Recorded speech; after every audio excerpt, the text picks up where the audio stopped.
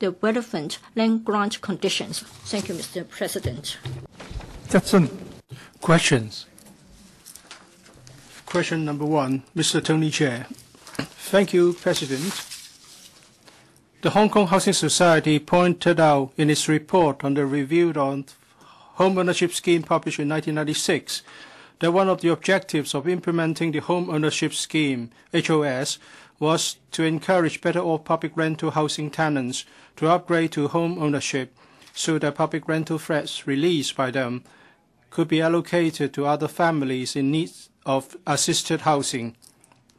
With regard to expediting the turnover of public rental housing flats or PRH flats, will the government inform this Council A of the number of PRH flats surrendered by PRH tenants in each of the past five years, broken down by the reason for surrendering the flats among these uh, cases of the respective numbers of PRH tenants who purchase homes under HOS and the HOS secondary market scheme. B. Whether it is one of the policy objectives of the government of the current term to encourage PRH tenants to upgrade to home ownership and surrender their PRH flats? If so, of the various specific indicators set by the government for this objective, and how such indicators compare with those in the past? If not, the reasons for that. And C, of the specific measures implemented by the government in the past five years for encouraging PRH tenants to surrender their PRH flats, whether it has conducted any comprehensive review of the effectiveness of these measures, if it has, of the review results, whether it would introduce new measures in 2013 2014 to further encourage PRH tenants to surrender their PRH flats in order to expedite the turnover of PRH uh, flats. If you view of the specific details of the implementation and, and implementation strategy of the various new measures, if not, the reasons for that. Secretary for Transport and Housing.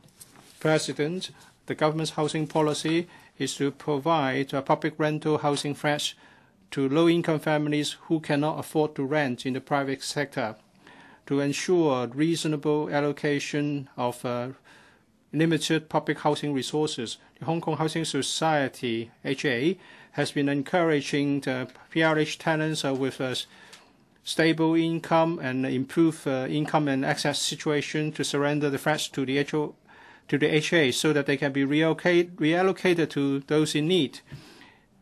In 1987 and 1996, the HA uh, respectively implemented the subsidizing policy on uh, house PRH and also the uh, safeguard, the, the, policy on safeguarding rational allocation of uh, public housing resources, or the so-called well-off uh, tenant policy.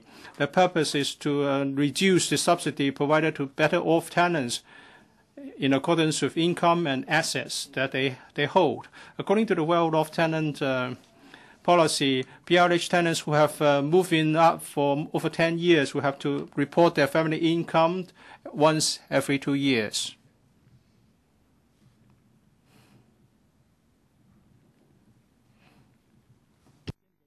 Please continue. Depending on uh, the income level, well-off tenants will have to pay one and a half times or two times the net uh, rent of PRH flats plus uh, rates. As for those who are, as for those who are paying double rent, uh, they will have to declare the assets every two years. If the asset level exceeds 84 times that of uh, uh, in waiting list applicants, they will have to move out. In response to Mr. Tony Tse's questions, I set out the answers as, as uh, follows. Number one, uh, the total number of surrender threats to the HA can be found in Appendix 2. Uh, the reasons for surrendering PRH threats to the HA uh, would include uh, voluntary surrender because uh, the tenant have rented private housing units or purchased private housing units the, the uh, singleton uh, tenant has passed away or the elderly tenant has moved to, into a residential home. And also, uh, sometimes uh, tenants have to return their PRH flats because of the enforcement action taken by HA, uh, or the tenant has uh, purchased an HOS uh, flat as a green former. After deducting those uh, re reserve for those who have to be reallocated every year, we have 7,000 units available for uh, reallocation, including those who are on the waiting list and those who are uh, applying, uh, applying for another PRH units, including those uh, uh, given PRH flats under the compassionate grants system. The number of PRH tenants who surrender their PRH flats because of the purchase of HOS or the HOS uh, secondary market threats uh, can be found in uh, items 3 and 4 of Appendix 2. We, our policy is to allow our citizens to rent or buy according to their affordability, and we encourage those tenants who can uh, buy to move up the home ownership ladder. We encourage them to buy the HOS uh, flats with premium uh, unpaid uh, as green formers, and also to buy secondary HOS flats from the secondary market. In the past seven phases of HOS, we reserved at least 60% of the flats for green formers, although ultimately the, ratio of PRH tenants purchasing HOS uh, did not reach the 60% quota. However, the this uh, quota would uh, allow more flats to be surrendered to DHA for reallocation.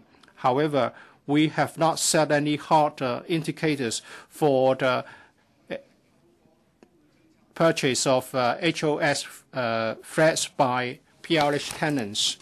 Three, as stated above, we encourage turnover through the well-off tenant policy and allow the PRH tenants to buy HOS flats uh, as green formers.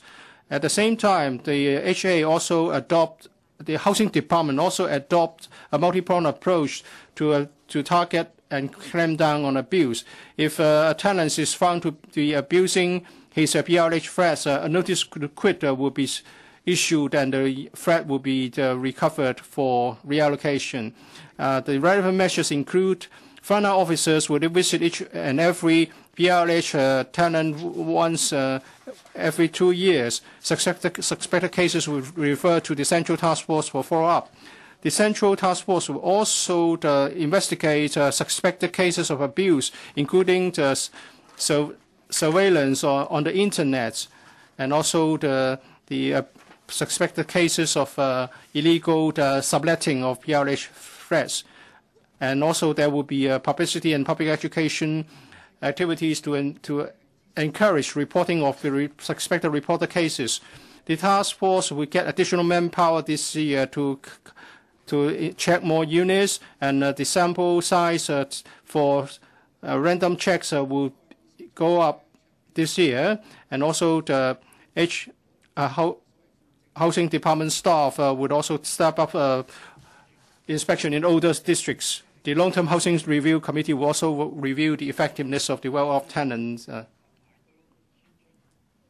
Mr. Tony Tse, uh, is the government satisfied with the uh, number of cases or whereby the PRH tenants have purchased uh, HOS uh, flats and uh, have surrendered the PRH flats back to the HA? Are you going to do more to encourage homeownership?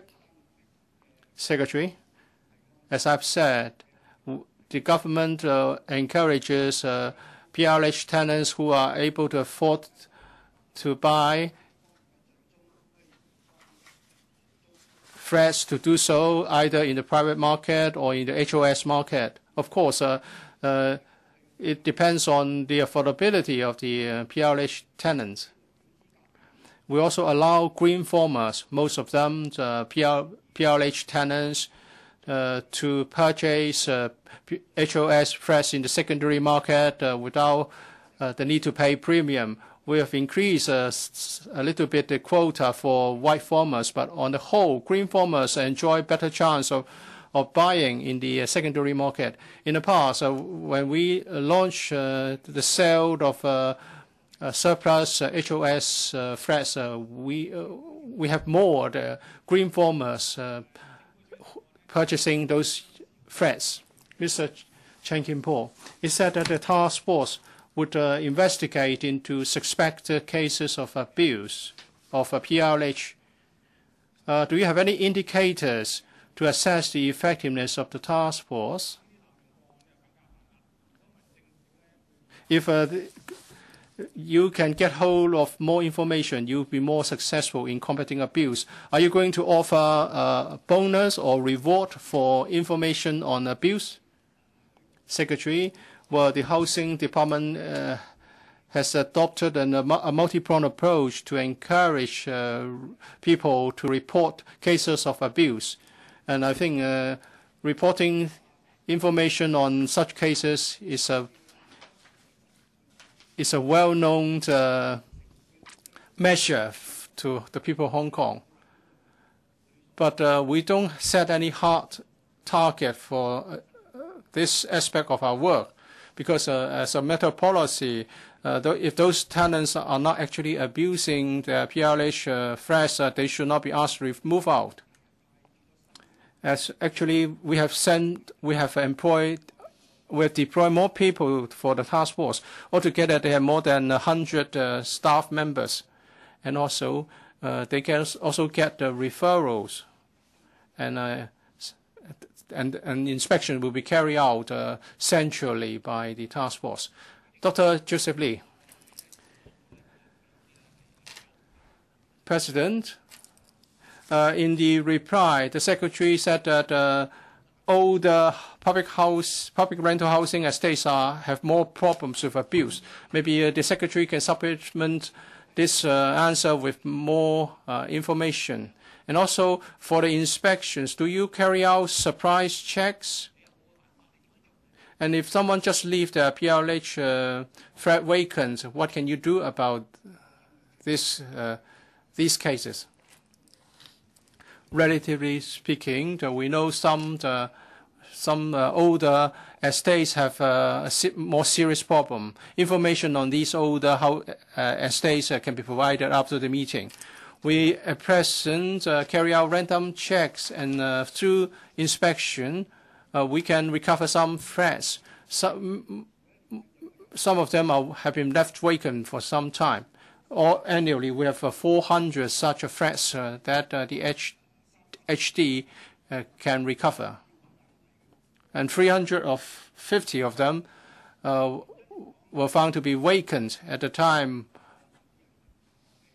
And uh, it has been discussed in the community about the reasons why people abuse their PLH flats. Because, for example, the previous tenant was reluctant to give it up. How are you going to deal with these vacated PLH flats? From the perspective of uh, enforcement by the HA, uh, the, H, the HD would uh, issue a notice to quit. Of course, the tenant can lodge an appeal, but if the notice to quit is enforced, then the tenant has to move out. Mr. Abraham Shek.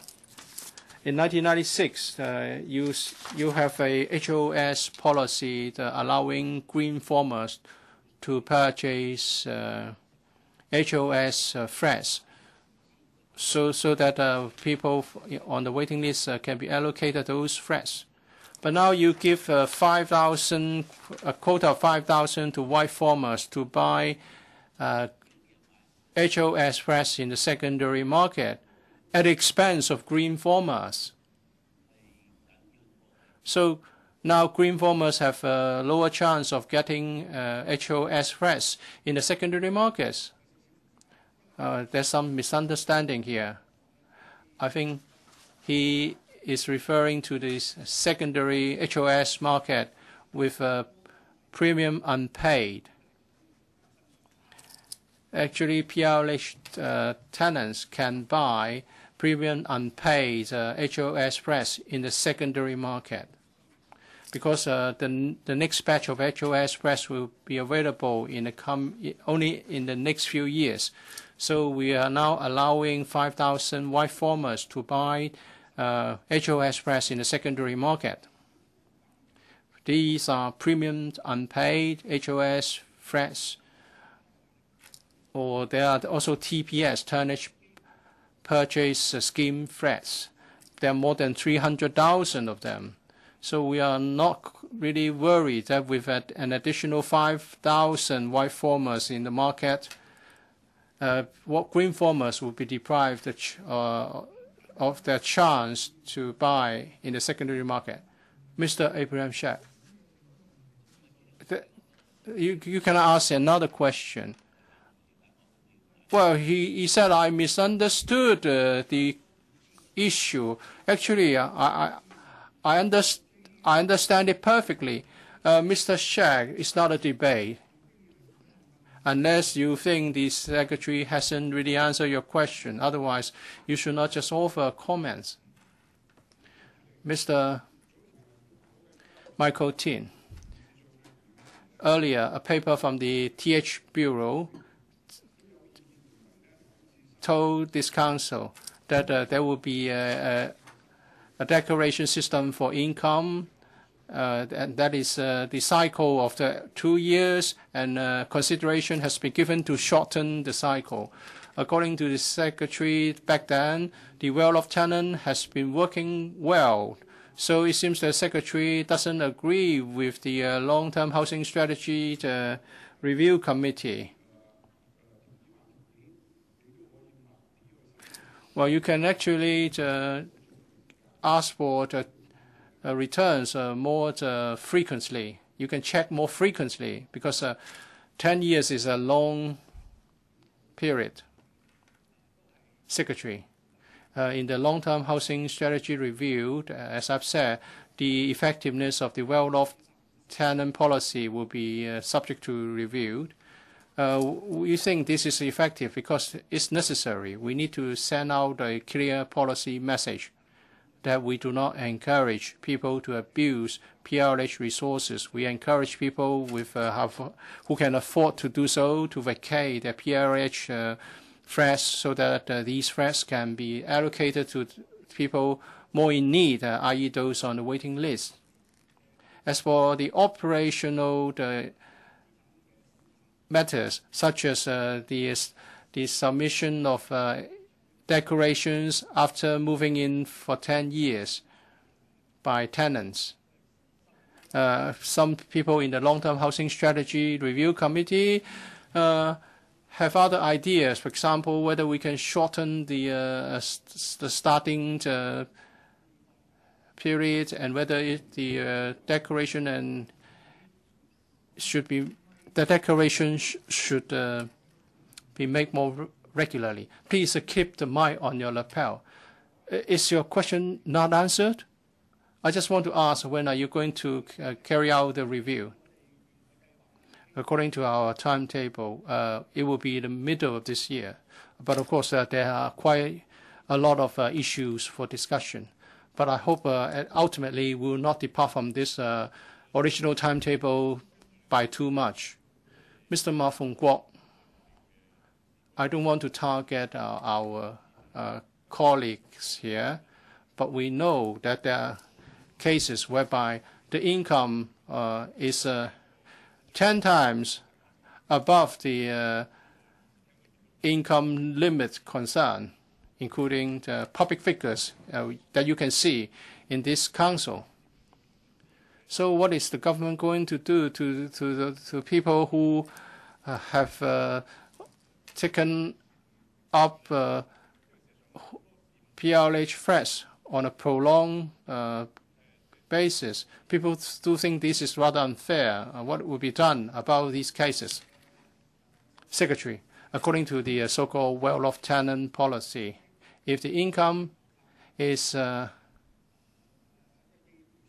a number of uh, times that of the uh, waiting list applicants, then uh, one and a half times or two times the normal rent will be payable. And if the asset also exceeds the uh, limit, uh, the tenant will have to move out. And before uh, the tenant actually move out, he has to pay market rent. Last year, we, as at last year, among the 700,000 uh, 19,300 are paying one and a half times, 2,600 are paying uh, two times the normal rent, and 30 are paying market rent. altogether they make up 3% of the total PRH tenant population. So most of them uh, are just are complying with our requirements. If we want to ask a tenant to move out, we have to look at the income limit and also the income as well as the asset. And the relevant asset limit is the uh, 84 times of the uh, income limit. Mr. KK Fung,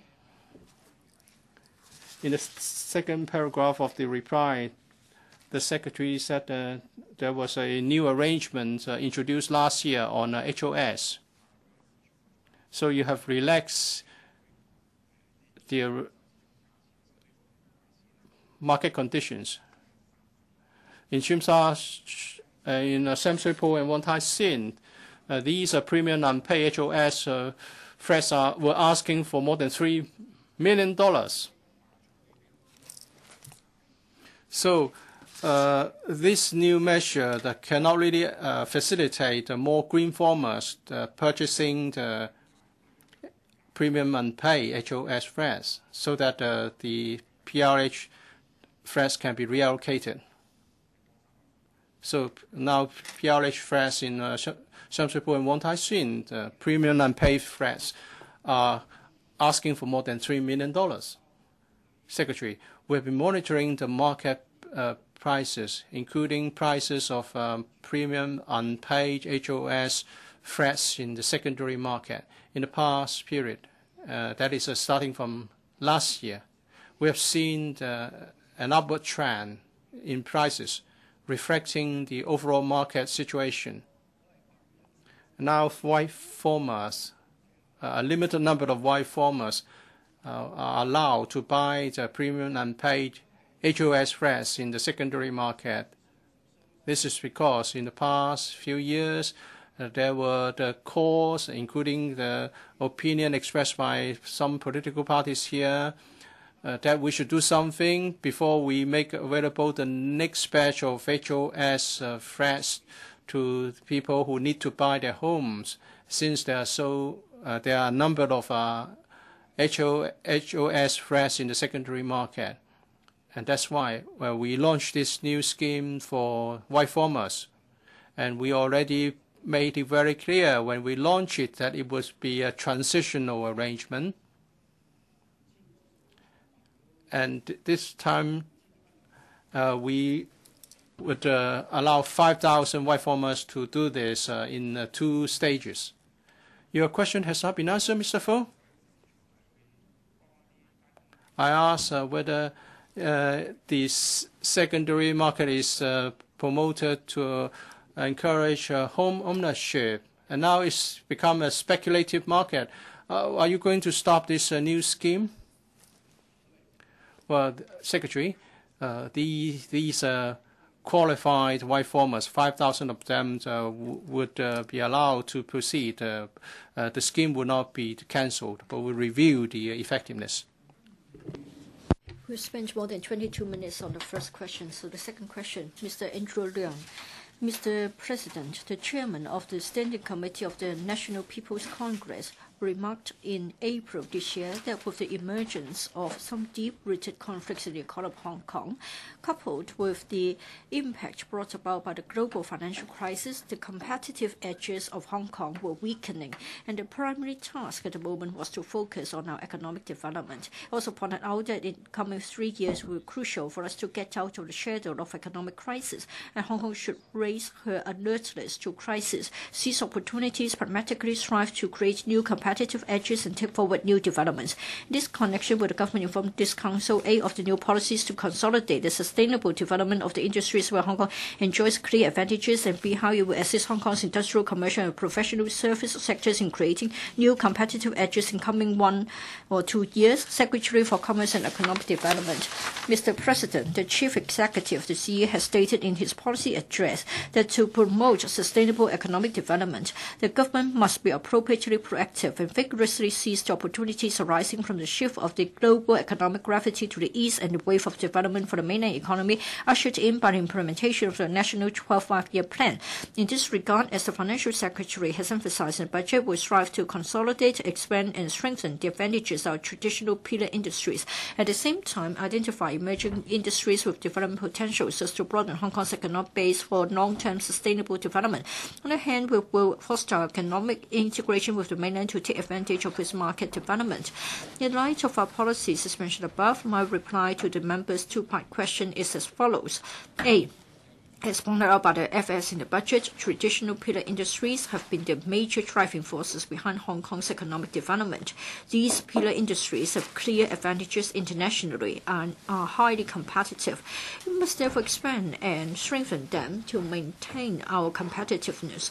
Currently, the four pillar industries are trading and logistics, tourism, financial services, and business and professional services. Regarding the trading and logistics industry, the government has reserved sites for the trade to develop modern logistics facilities. Additional resources have also been allocated to encourage companies' participation in the Hong Kong Authorized Economic Operator Program operated by the Customs and the Excise Department. The government will explore how to make better use of the existing port facilities and continue to promote the development of transport infrastructure. The government will also assist local enterprises to tap new markets, including Southeast Asia and the BRICS countries countries. To sustain the healthy development of the tourism industry, the government will assist in the further development of Ocean Park and the Hong Kong Disneyland and make comprehensive efforts in preparing for the commissioning of the Kai Tak Cruise Terminal. We'll also collaborate with the travel trade on itinerary development and regional cooperation in order to reinforce Hong Kong's position as a regional cruise hub. Moreover, we encourage the increase of hotel supply and enhancement of service quality while seeking to host more market events in Hong Kong. As regards the financial services industry, the government will promote the diversification of business and products, will further develop fund and asset management businesses, promote the sustainable development of the bond market, and enhance Hong Kong's competitiveness in the development of Islamic finance. Will continue to assist the business and professional services industry in seizing business opportunities through relevant government-to-government platforms. For example, the government has been assisting the services industry in Hong Kong, including the business and professional services sector, in getting access to the mainland market under a preferential treatment in the context of CEPA.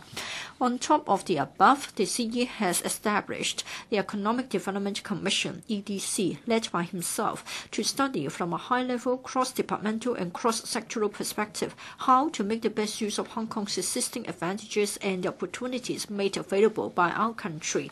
The EDC will focus on studying the overall strategy and policy to broaden our economic base and enhance our long-term development, identify industries which present opportunities for further economic growth, and recommend policies and support measures for assisting such industries. Moreover, the CE has set up the Financial Services Development Council to provide views and suggestions from a high-level and cross-sectoral angle to the government on how to promote the development of the financial financial services industry and reinforce Hong Kong's position as an international financial center. We believe that the existing specific measures, together with the views and suggestions provided by the high-level advisory bodies to the government, can effectively help consolidate and sustain the development of the industries where Hong Kong has competitive edges. Apart from the measures mentioned in Part A of this reply to support Hong Kong's industrial, commercial, and professional service sectors, the FS has also mentioned in the budget that the government will continue to nurture emerging industries and support small and medium enterprises so that they can take advantage of the opportunities offered by the favorable general economic environment. The government will proactively provide appropriate support for emerging industries with the potential to flourish to facilitate their growth. Specifically, the government will provide support for the cultural and creative industries in opening up more business opportunities and markets. The government will also encourage the transformation of technology research outcomes into products with market potential, coupled with industrial production to make an even greater contribution to our economy. As for SMEs, we've extended the application period for the special concessional measures under the SME Financing Guarantee Scheme for one year to end of February 2014. We've also proposed to increase the cumulative amount of grant for SMEs under the SME Export Marketing Fund from 150 to $200,000, subject to the meeting of relevant additional conditions. From 1st March 2013 onwards, the Hong Kong Export Credit Insurance Corporation has introduced a Small Business Policy SBP scheme for Hong Kong enterprises with an annual business turnover of less than $50 million, providing exporters with more flexibility in taking out insurance cover. In addition, we will continue to make use of the $1 billion dedicated fund set up last June to assist Hong Kong enterprises in upgrading and restructuring, developing brands, and promoting domestic sales in mainland. To step up our efforts to assist more Hong Kong entrepreneurs, especially SMEs, to gain access to the mainland market, the Hong Kong TDC will set up more design galleries in mainland cities other than Beijing and Guangzhou to offer platforms for Hong Kong enterprises to showcase their products. As regards support to the professional services sector, the government will continue to try for the most open trade conditions for the services industry in Hong Kong, including professional services in the course of negotiating trade agreements with the mainland and overseas countries so as to facilitate trade in exploring more business opportunities in these places. Furthermore, the working group on professional services under the EDC will consider possible areas of professional services which have potential for further development and the government support required to help enhance their competitiveness. Thank you. Mr. Andrew Leung. Mr. President, well, it sounds familiar as far as his reply is concerned. There isn't anything new. In April, uh, upon um, his return from Beijing, uh, the CE has already said that the uh, pilot schemes will be extended to nine provinces instead of just restricted to the Pearl River Delta region. It seems that uh, the administration hasn't had any publicity about such uh, schemes. So what have you got to help the SMEs as well as the professional services sector to grab the opportunities? Secretary, well, we have been working through CEPA to make sure that our services uh, industry, including the professional uh, service sector, to gain concessions in their entry into the mainland market. We will continue to promote CEPA so as to open up the mainland market and open up more business opportunities, expand the markets so that we can have more concessions in insofar as our market entries are concerned. We work on the principle of gradual opening up and we have also got the pilot uh, scheme.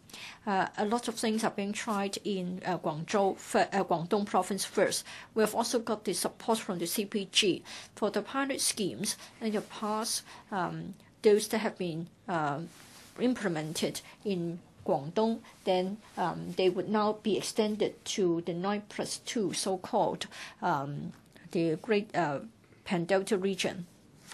Therefore, um, such pilot schemes will become our target uh, of work. That is, uh, they should be extended to the 9 plus 2 provinces and regions. And such suggestions have got the support of the CPG. Well, in fact, in the next round, when we do our publicity work, we'll liaise closely with the business sectors. We'll try to find out in what areas the business sectors would like to have more concessions when it comes to market entry we would then talk to the relevant um, authorities in the mainland. Therefore, our promotion work will not be confined to the industries, but also to the stakeholders as well. Thank you, Mr. President. Mr. Cheung Wah-fung. Mr. President, for industries in which we enjoy clear advantages, are there any new initiatives to help the financial services industry to enhance our competitive edge for the uh, Qianhai development. Uh, it is about to be launched. So in enhancing our opportunities to go northwards for the financial services industry, what has been done, and what about the QDII? Um, are there any new policies to um, enhance our competitive edge? Uh, Secretary, I would like to thank Mr. Christopher Cheung for his question. In my main reply, I have already referred to the setting up of the Financial Services Development Council by the CE so as to get views and suggestions from a high-level and cross-sectoral angle um, to promote the development of that industry. Mr. Cheung referred to the development at Qianhai. I know that a lot of projects have to do with the financial service industry. They will be carried out on a pilot um, basis. Say, for example, um, we can issue uh, renminbi-denominated loans to the enterprises there. And uh, we can also have uh, cross-boundary renminbi um, pilot projects. Uh, all of them have close relationship with the financial service industry. Uh, we will liaise with the counterparts, and we'll also listen to the views uh, with the local financial services industry so as to get more concessions. Thank you. Mr. Wong Ting Kwong. Thank you, Mr. Chairman. Mr. President, there is a working group to look at um, the professional services. And in fact, um, Singapore has already taken the lead, uh, and they are 10 years earlier than us. And so uh, I think we need to um, step up our pace. We have also um, provided a report to the administration. So in relation to this uh, working group, please advise us of the um, progress. Um, I'm referring to the development of the intellectual property trade, and I want to know how SMEs and how innovation and technology will be given a boost arising from this opportunity. Uh, Secretary, I would like to thank Mr. Wong for this question. Well, to develop Hong Kong into a IPR trading hub and a management center well, indeed, it is the broad direction that we have adopted. Hong Kong is well placed to seek such a development. For our neighboring cities like Singapore, Shanghai, and Beijing, they are also competing to become uh, a, a pace setter for IT, IP uh, rights uh, trading.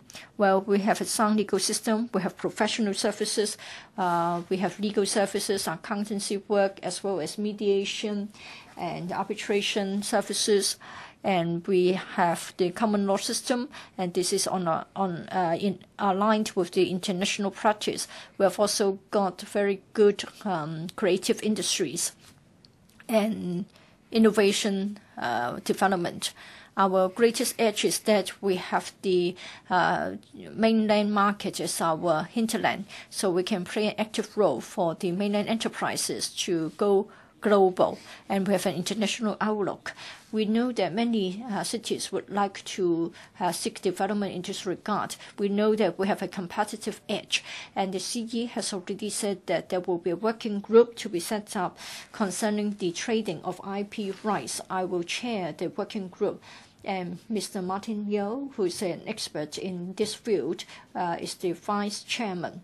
We have also got representatives from different areas of this industry, like people well versed in uh, assessment and valuation. We're going to benefit from their input to see how we can promote the trading and management of intellectual property rights. This is going to help the SMEs. Um,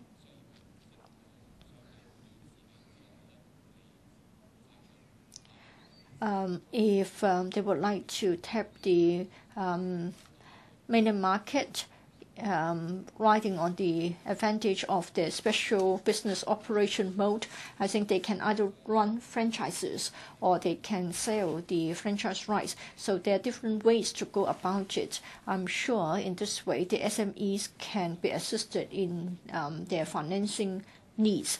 And then if technology and R&D are to be sort of packed with the market, then we can see a lot more developments, and then the R&D will be more effective. Therefore, such will be the directions of our development. The working group will be working around such goals, and we hope that we can come up with an overall strategy, and we are very confident in our work in this area. Thank you. Your question hasn't been answered? No, the secretary hasn't talked about the development of such a trading hub. Is there a timetable? it seems that there isn't a timetable. I asked for when such a trading hub can be set up. We've been um, expecting it for a long, long time. Secretary, thank you, Mr. Wong, for your question. When we talk about such a platform or center, it isn't quite like something like the uh, stock exchange. When we talk about such a platform or when we talk about having such a hub or center, it means that uh, we can facilitate the trading activities of such IP rights rather than a physical venue to facilitate the trading. In fact, in Hong Kong, uh, such activities are quite uh, buoyant. Um, what we want to do is to reduce the cost of trading, and we hope that we can come up with certain standards. So such um, so-called infrastructure would require the uh, leadership of the government. So the working group is now uh, looking at this area and seeking progress. Mr. Jeffrey Lam. Thank you, Mr. Chairman.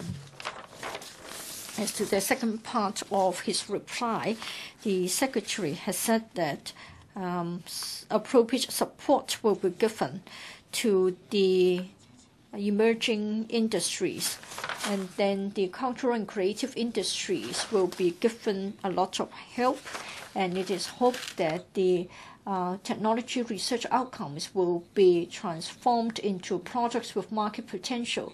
And it is hoped that coupled with industrial production, we can make an even greater contribution to Hong Kong's economy. I think the industries would welcome it, seeing that the secretary is placing so much weight on the cultural and creative industries. But then the secretary himself is not being creative enough because such statements have been made by him time and again. And I think we are still lagging behind uh, when compared with other cities. For the World Economic Forum, uh, we rank 22nd in terms of our uh, competitiveness in this regard. So we're lagging far behind. So when are you going to um, introduce this locomotive of creativity so as to drive our economic growth? How are you going to um, support our creative and cultural industries? Because in this way, we can also support our traditional industries to have more innovation. Secretary, I would like to thank uh, Mr. Lam for his question. As I have already said in my main reply, we do attach a lot of importance to the development of the traditional pillar industries. At the same time, we are also emphasizing developments in the cultural and creative industries as well as innovation and technology. In particular, we want to uh, see the technology research outcomes being applied to traditional pillar industries. In answering Mr. Wong's question, I talked about the uh, trading of IP rights. Uh, in this way, uh, we can sort of link the two together. In this way, there will be economic benefits. Allow me to say more in terms of R&D. We have the Innovation and Technology Fund, and this can be used to encourage R&D activities. We have also got the uh, rebate scheme as well as the small business scheme. Now, there are also five uh, research centers so that we can focus on specific areas and turn the research outcomes into products. Um, we have the Design Business Week, etc., and all of them um, can also realize the outcomes of innovation and technology. Um, we have got a number of nurture schemes, and they are also useful in helping the designers. Over 150 enterprises have joined the incubation program. I think all of them uh, should be given uh, emphasis. Um, in January, we set up the Economic Development Commission, and we are having an in-depth study. And under the EDC, we have a working group focusing on innovation and creativity, and they have a focused discussion. And we believe that with the commission and with the working group under it. And in fact, uh, Mr. Andrew Leung also sits on the uh, commission. We hope that we can benefit from the ideas from different stakeholders and members, and then they can provide um, uh, pragmatic views concerning our long-term development. Mr. Yiu Si-wing. Uh, thank you, Mr. President.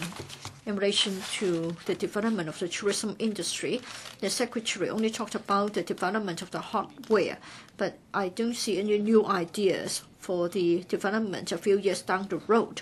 So what is your planning for tourism? Secretary, I would like to thank Mr. Yiu for his question. I think Mr. Yiu is quite clear that as far as tourism is concerned, in terms of infrastructure and regulatory work, we have already done a lot. Say, for example, for the regulatory regime of the tourism industry, we have already carried out an extensive consultation exercise, and we are going to set up um, a council to regulate the um, tourism industry and it will look at matters like training and other regulatory work. We are also assessing the capacity, and we are looking at our uh, directions. So once we are ready with our recommendations,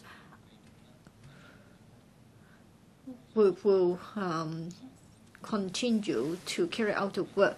I'm sure together with the industry, we can certainly promote our tourism industry and diversify the industry. Question not answered. Well, here's only given part of the answer. Planning must be comprehensive. Uh, retail, catering, etc., etc. So the tourism industry itself is only part of it. So I hope the administration will be more comprehensive. So is there any comprehensive planning?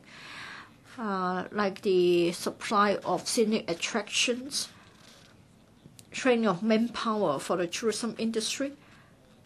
We have had a lot of work done. In addition, in terms of our sup, uh, um, supply markets, um, the tourism um, board has already uh, done a lot of promotion work, like uh, Russia and other emerging markets have already seen a lot more tourists coming to Hong Kong. And for the mainland markets, through CEPA,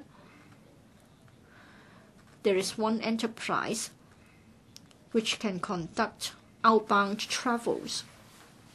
And we have already got the arrangement to have a pilot scheme. Moreover, we'll be liaising with the relevant authorities under the CPG to see how we can develop more business opportunities for our tourism industry. We spent over 24 minutes. The third question, Mr. Poon Siu-ping. Thank you, Mr. President. On the 1st of May this year, the statutory minimum wage rate, which has been in force for two years, uh, which had been in force for two years, was adjusted upwards for the first time from $28 per hour to $30 per hour, representing an increase of 7.1%. Yet the rate of adjustment is lower than the cumulative inflation rate in the same period, resulting in a drop instead of a rise in the living standard of the employees earning SMW. In this connection, will the government inform this council, A, whether the government has considered providing allowances to employees earning SMW so as to ensure that their living standard will not drop as a result of the inflation rate being higher than the rate of adjustment of SMW? If so, the details, if not, the reasons for that. B, whether it will consider requiring the rate of adjustment in SMW recommended by the um, Minimum Wage Commission to be no lower than the inflation rate in the same period. If so, of the details, if not the reasons for that, and C, whether the government will make reference to the existing practice of adjusting the civil service pay on an annual basis and reconsider shortening the review cycle of SMW from two years to one year if so, of the details, if not uh, the reasons that, Secretary for um, Labour and Welfare. With regard to Mr. Yiu's, uh, Mr. Poon's question, my answer is as follows.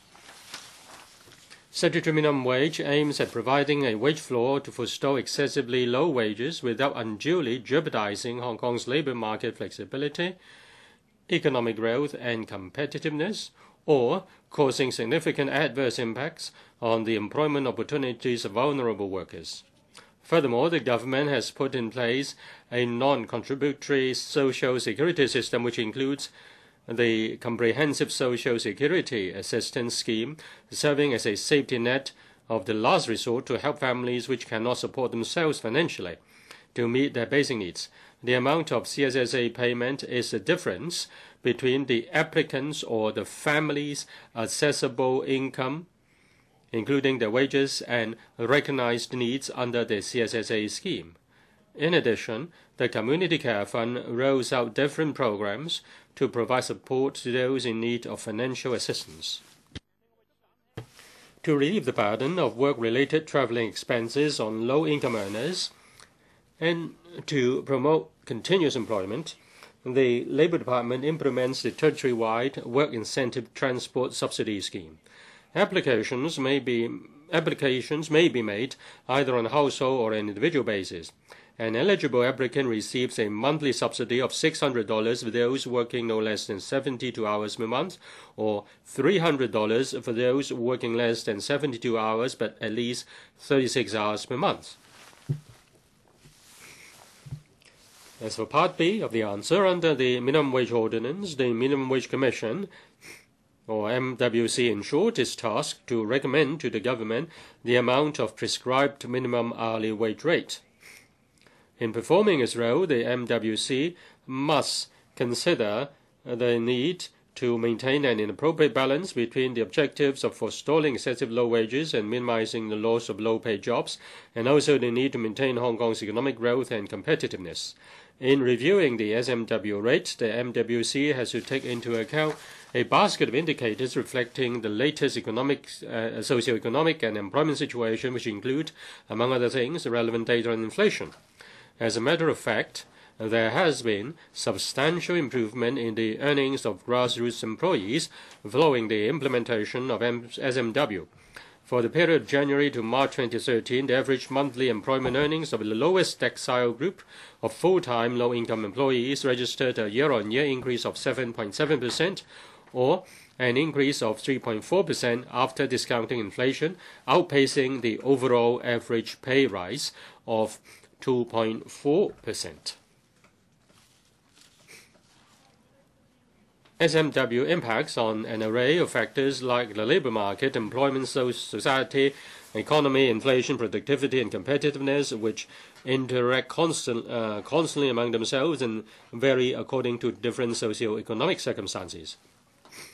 If there is a rigid requirement that the rate of adjustment in SMW recommended by the MWC must not be lower than that of inflation in the same period, it cannot take into account the changing social, employment, and economic environment in an effective, timely, and flexible manner. It will also lead to the chain effect of wage price uh, chasing wages and prices chasing each other, causing a perpetual inflationary spiral. Adopting an evidence-based approach, MWC undertakes detailed analysis on wage distribution data and findings of other surveys, and make reference to various employment, social, and economic statistics. It conducts assessment of the impact of SMW rate as well as extensive consultation with all stakeholders in order to recommend an appropriate rate. The existing arrangement is considered objective and appropriate. As a Part C, the MWO requires that the SMW rate must be reviewed at least once in every two years. Setting a limit of not exceeding two years for the review cycle is a pragmatic arrangement, which was the consensus when legislating on SMW. Following the implementation of the new SMW rate of $30 per hour with effect from the 1st of May this year, the MWC has now commenced a further study of the SMW rate. Thank you, Mr. President. Mr. Poon. Thank you, Mr. President. Recently, uh, the uh, ISD promoted uh, uh, or launched a um, API, an API for minimum wage. It says that setting minimum wage protects the grassroots employees. In the reply, the administration says that there will not be any living allowance for those earning SMW, and it also refuses um, to um, um, enhance the frequency of review to once per year. Now, how can uh, that uh, protect the uh, grassroots employees if the rate cannot catch up with inflation? Well, let me clarify two sets of numbers. And we said that in the reply. And uh, from um, January to March, for the lowest decile group of full-time low-income employees, the average monthly employment earnings rose 7.7% on a year-on-year basis. This is, um, um, um and that is a 3.4% after discounting inflation. So for the grassroots employees, uh, they have experienced an improvement to their living standard. If you look at the actual numbers in the past two years, just starting from this month, the uh, SMW rate uh, has been increased. If you look at the past two years, according to inflation in the past two years, accumulated inflation is 8.4% for two years. If you uh, look at it, uh, $28 as a basis, um, that means 30.3 um, uh, 30 cents. So um, the present 30 uh, uh, increase to $30 is close to inflation. But we cannot just look at inflation, or we should not peg it to inflation because there are other uh, factors for consideration, and we need to be uh, flexible as well. Uh, this is evidence-based database approach and is objective and appropriate. Mr. Chiang Kok-chiu. Thank you, Mr. President. I would like to respond first to the second point made by the Secretary, and that is about uh, the uh, average monthly employment earnings of the lowest decile group of full-time low-income earners registered a year-on-year increase of 7.7%. You didn't mention the number of working hours. If you look at the hourly rate, uh, that is the fairest. The SMW is to enable uh, the workers to live a life of dignity. If they need to get a, other allowances in order to make a living, then the government is just subsidizing the employers. How to set SMW and what factors should be considered are important matters. Yet, the uh, setting of SMW is really not transparent at all. I want to ask the Secretary, can uh, he disclose the uh, process of setting SMW and also the formula? The Secretary, every year, uh, the administration publishes a set of data uh, which is about the distribution of wages and incomes. This is a very uh, um, this is the foundation of the review, and there are a basket of indicators, including the overall economic situation, 36 indicators, and then the labor market situation, and there is also issue of competitiveness and social inclusion.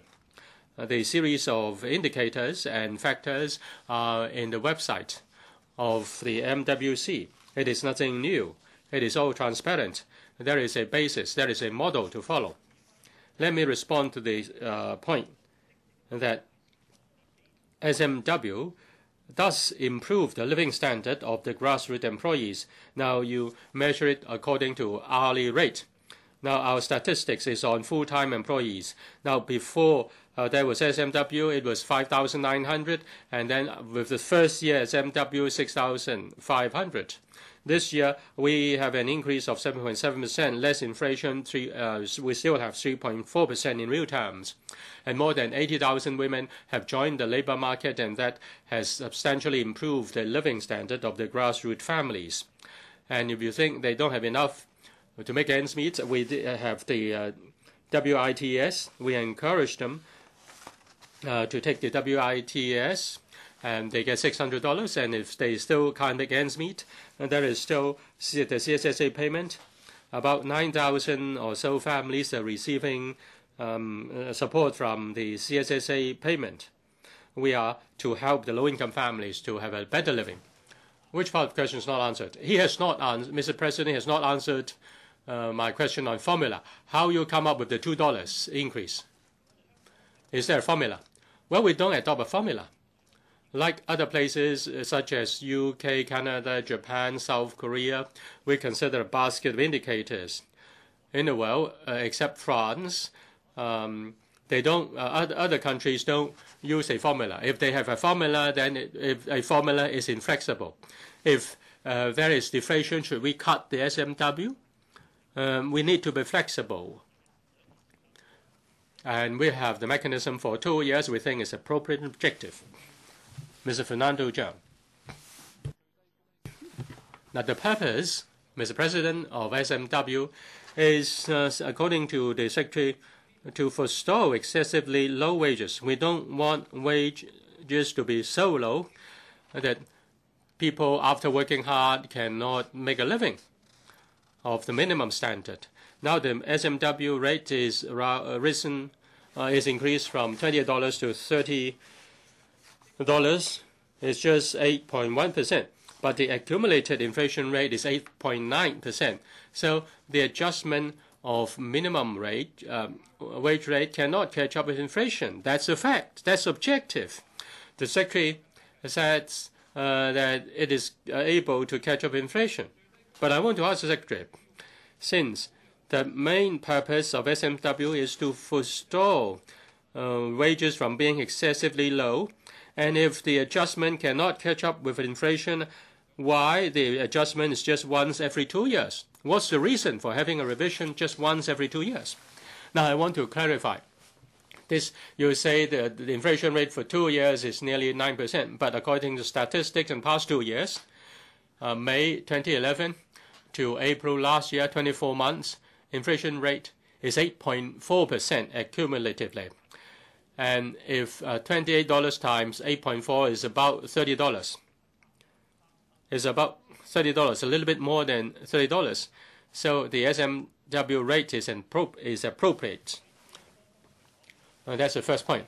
The second point is you ask why can't there be an annual review? I've already explained that. Now, when we passed the law, we had the consensus, and there should be at least one review in every two years we do not have an annual review. We do not rule out an annual review if there is a need. So suppose there is change in the economic situation, inflation is rising high, um, then um, the MWC may have to start a review. It depends on the uh, economic situation. And other um, part is about um, um, the say that there are merits and demerits of annual review. If there is a merit that there is an annual review, you may feel a little bit um, easy about it. But suppose there is a decline in economy, say there is deflation, are you going to immediately cut the SMW? But if we have a two-year review, then with flexibility, we, have, we look at the data in two years. Uh, one year's data may not be accurate, so there is flexibility. And if there is an annual review, then what about the contracts?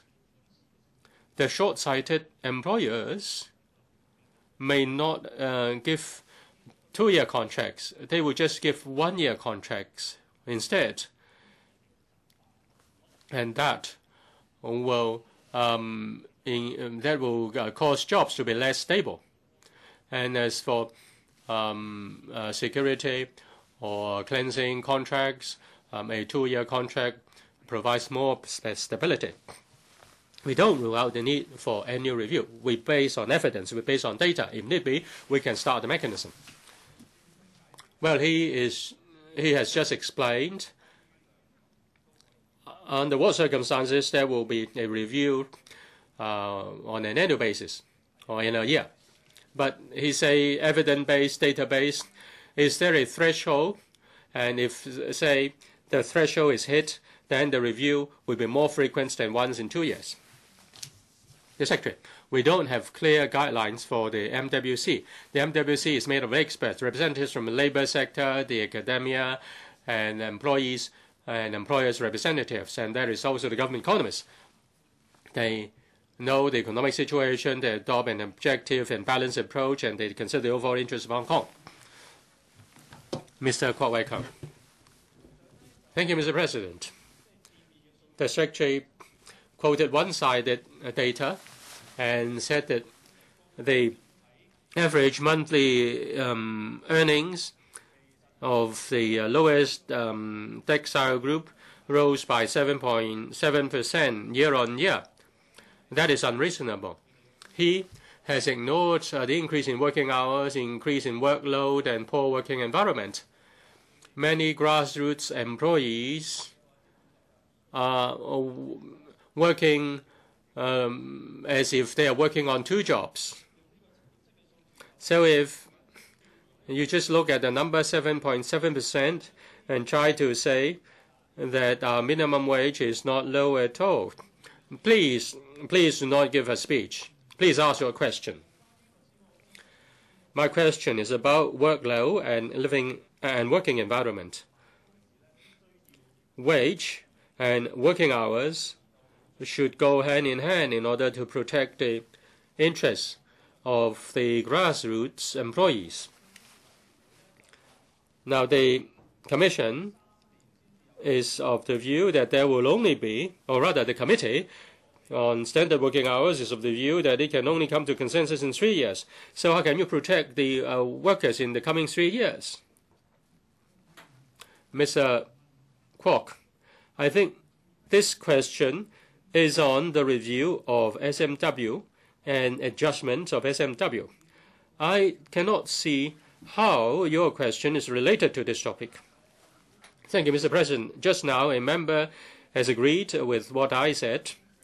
A minimum wage and standard working hours should be implemented hand in hand in order to protect the interests of the workers. Please repeat your question. My question is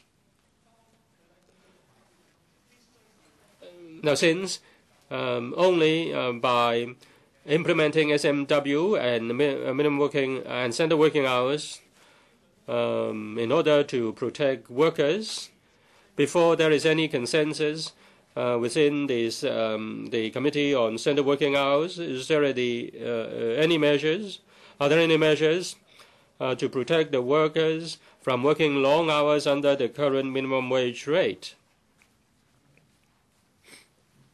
The Secretary. With regard to standard working hours, I would like to uh, touch on that briefly. In fact, the committee has started its work,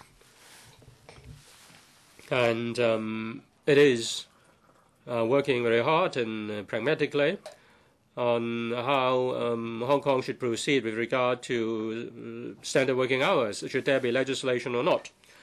Is one issue. Now, with the implementation of SMW, uh, there is no increase in working hours. We have not seen that. We have not seen any deterioration in working hours. We have data to support that. Uh, there is only one objective for SMW and standard working hours. Uh, we need to balance the interests of employees and employers. We want to uh, enhance the rights of workers as well. Thank you. Oral question number four.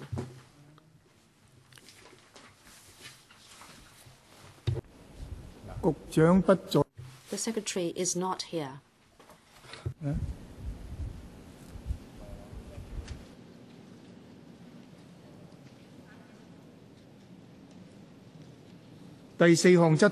Question 4. Mr. Wu Chi-wai. Thank you, Mr. President. In reply to a question of a member of this council in March this year, the Affairs Bureau HAB indicated that more than 50 private recreational leases PRLs that had expired in 2011 and 2012 were being renewed. 该等契约系政府多年前以免收。The PRLs were granted by the government at nil or nominal rents to sports clubs of social welfare organizations and private sports clubs many years ago. It has been reported that the PRLs will be renewed for 15 years. On the other hand, the Office of the Ombudsman published in 2012 a direct investigation report in which it one criticized the HAB for its clear inadequacy of mon monitoring efforts in the enforcement of the lease conditions of the PRLs, and two, criticized various sports clubs for serious scarcity of opening hours of their facilities for use by outside bodies, and three, suggested that HAB should maximize the number of opening hours of facilities as far as the sports club's respective scale of operation permitted, and four, suggested that HAB should develop a proper mechanism for handling complaints concerning the opening of such facilities and make also try to have a complaint mechanism put in place. And will this government inform this council? A, as the facilities of most sports clubs are dedicated for use by their members and only limited access is granted to group applicants at present, whether the authorities know the conditions for membership applications set by the relevant bodies of the lessees of PRLs, if they do, of the relevant information broken down by the name of the relevant sports clubs, whether HAB has reviewed if these conditions can tie in with the government's policy objectives for sports development and can convince the public that the sports club's prepayment to society matches the subsidies and land resources they receive and the reasons for the authorities deciding to renew the PRLs with the various lessees for 15 years whether they have considered shortening the terms of leases or requesting the lessees who occupy larger land areas to surrender part of the land for housing development. B. Whether the government has policies and measures to follow up the aforesaid criticism and suggestions raised by the Ombudsman if it has of the details. And three, as the government informed this council in 2011 that in re reviewing the PRLs, it would add new provisions requiring the sports clubs concerned to further open up their facilities to outside bodies of the number of hours for which each sports club is required to open its facilities to outside bodies under the new provisions, as well as the list setting up the name of the uh, lessee, the address of the facilities concerned, and the number of the opening hours of each of these facilities. Secretary for Home Affairs, President, while renewing private recreational leases, PRLs, that expired in 2011 and 2012, the administration is overseeing lessees' compliance with the terms of the PRLs including implementation of schemes to allow greater access to their facilities. We shall report the progress of lease renewals at a coming meeting of the Legislative Council panel on Home Affairs. My reply to the three parts of the question is as follows. A. PRL lessees determine their membership requirements in accordance with their individual circumstances and such requirements are laid down in their articles of association. Generally speaking, a candidate for membership may become a member upon the recommendation of existing members and his or her acceptance of the objects of the club. Sports clubs operating under PRLs have the promotion of sport and recreation as one of their objects, which is consistent with the administration's policy for sports development.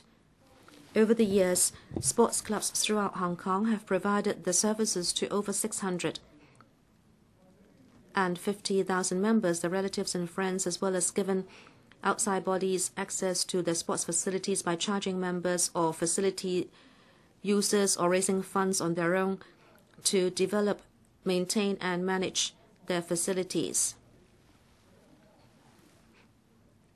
Up to the present, they still help to meet the sporting and recreational needs of the public. The Home Affairs Bureau HAB has advised all PRL lessees that the administration will conduct a comprehensive review of the PRL policy and that lessees shall not assume that their PRLs would be further renewed or be renewed under the same terms and conditions upon the expiry of the renewed lease.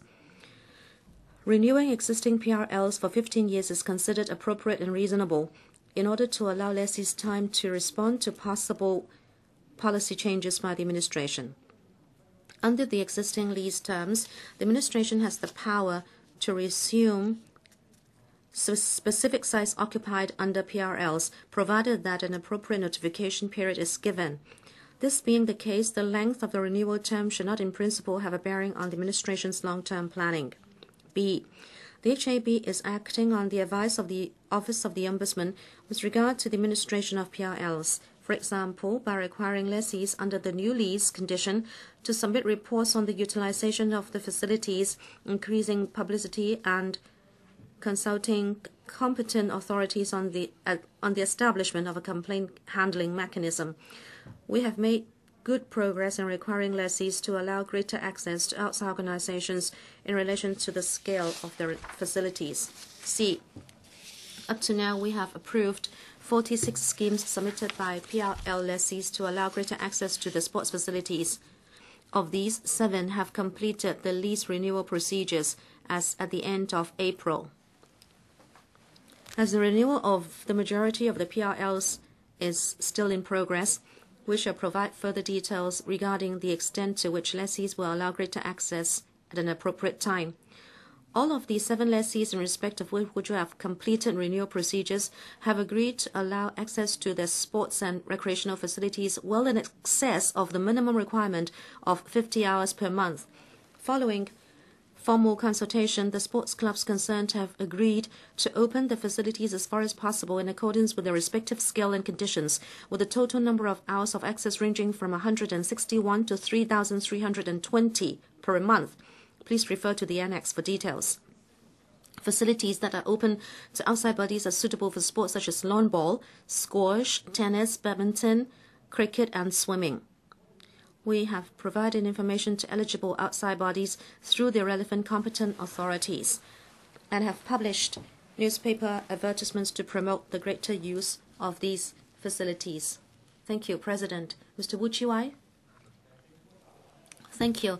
Actually, the reply has not given any answer to my question, including eligibility of members and also opening hours. I hope the administration can provide supplementary information after the meeting, and that is the area occupied by the lessee, the membership numbers of each lessee, and also membership criteria and also membership fees.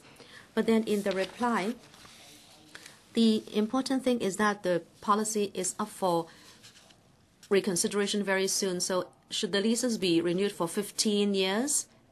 and actually the administration is looking very hard for land.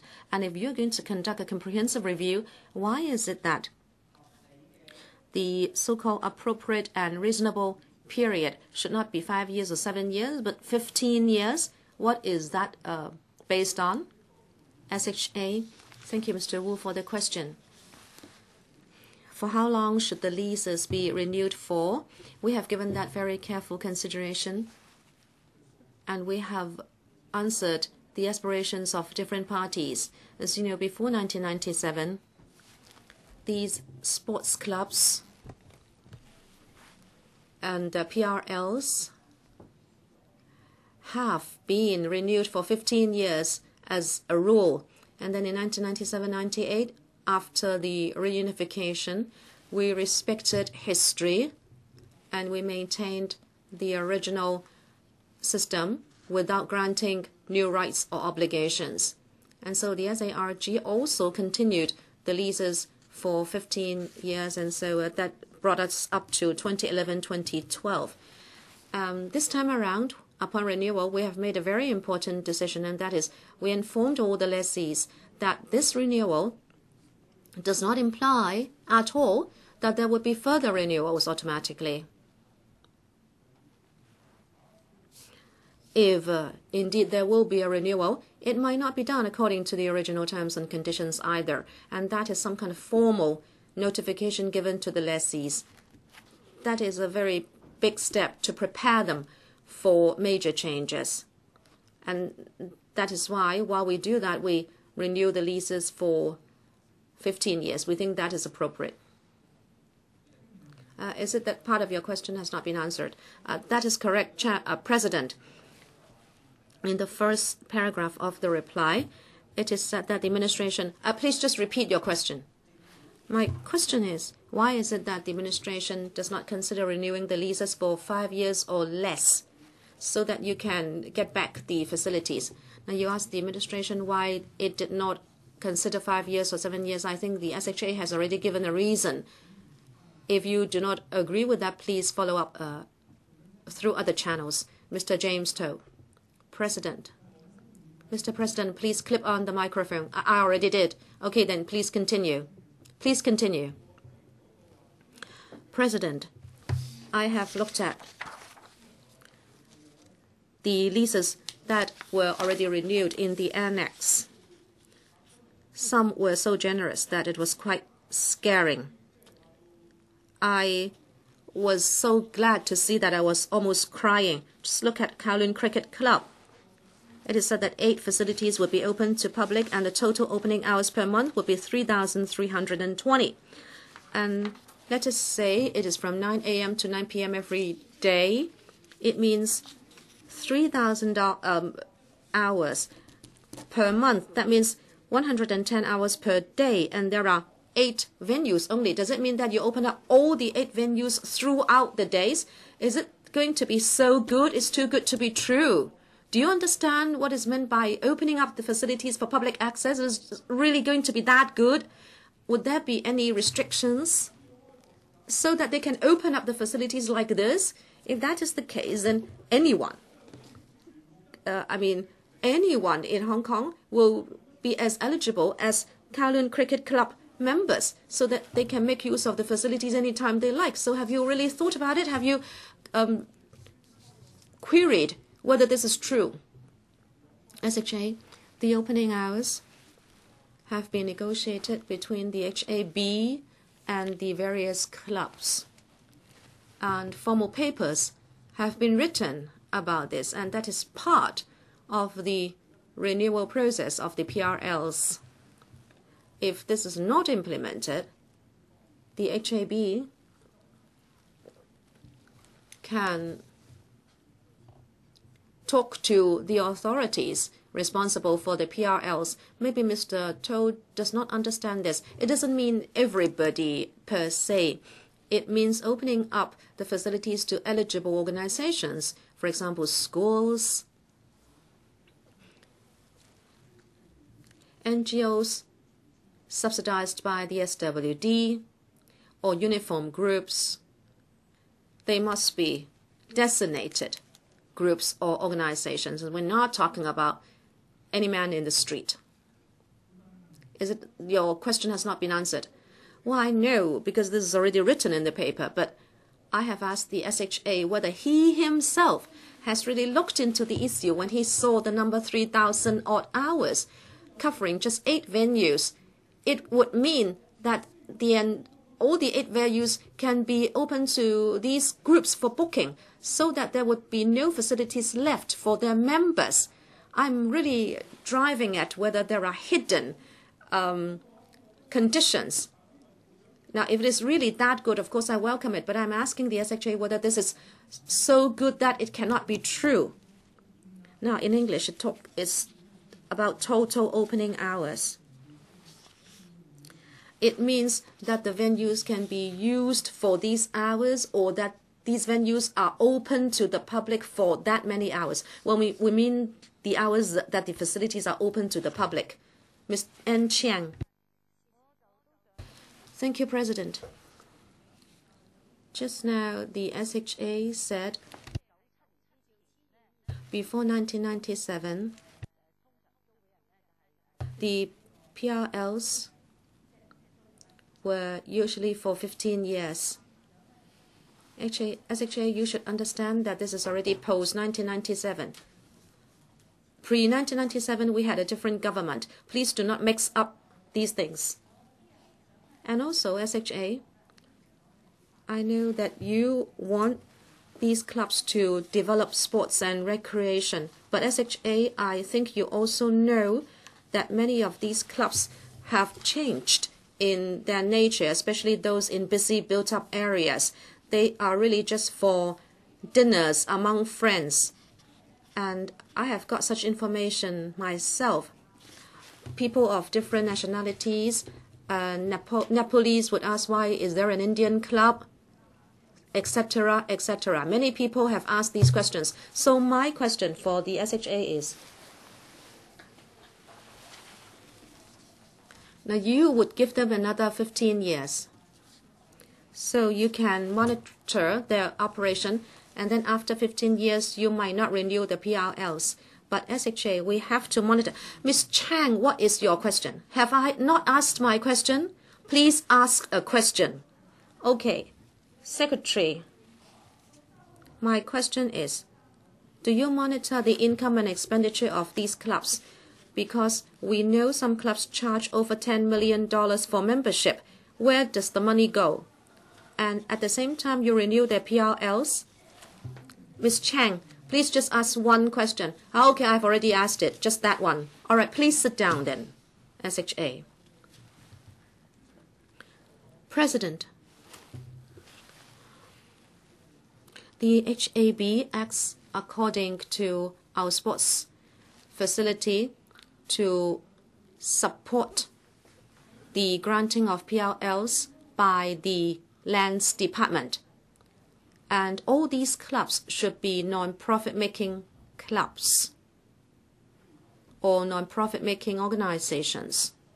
As to how much they charge for membership, these clubs are incorporated under the company's ordinance. Mr. Ronny Tong. Mr. President, this is a colonial legacy, isn't it? It is quite unfair, and there is this um, situation where no one wins. As a member was saying, the membership fees are extremely exorbitant, and if you say the club should be open to everybody, then it doesn't seem very fair to them. But then if they only fork out so little money for so few, then it's unfair to Hong Kong people. Why don't you consider setting a criterion in order to charge them yearly rental so they can operate these recreational facilities also for the benefit of the public? Why don't you think in that direction? SHA. President, indeed, we charge them yearly rental, and that is at 3% of the rateable value. And when PRLs are renewed, we do not consider the land premium. And as Mr. Ronny Tong said, this is a, a, a historical legacy. They would operate according to their own approach. They would get funding themselves. They may get membership fees, and then they operate the facilities for their own members. And we want to support the operation of sports and recreational facilities, and that is why we give them this policy support. Upon renewal of the PRLs, we did not ask them to pay up the premium, but they have to pay government rent. Is it that your question has not been answered. No, what I was trying to say is that you charge a reasonable government rent, may be at a percentage of the membership fees, so that the money goes back to the public coffers for the operation of facilities for the public. If you say 3%, it amounts to really very little. I want him to say uh, whether he would consider charging at a more reasonable level. SHA, would you consider changing the policy? President. This time around, when we renew the PRLs, we will act according to the existing policy. After this round, we will do a comprehensive review to look at the objective of our sports policies, and we will involve all the different stakeholders, including the uh, members of the clubs and also the public, and how we can strike a balance between the interests of these groups of people. Dr. Helena Wong, thank you, President.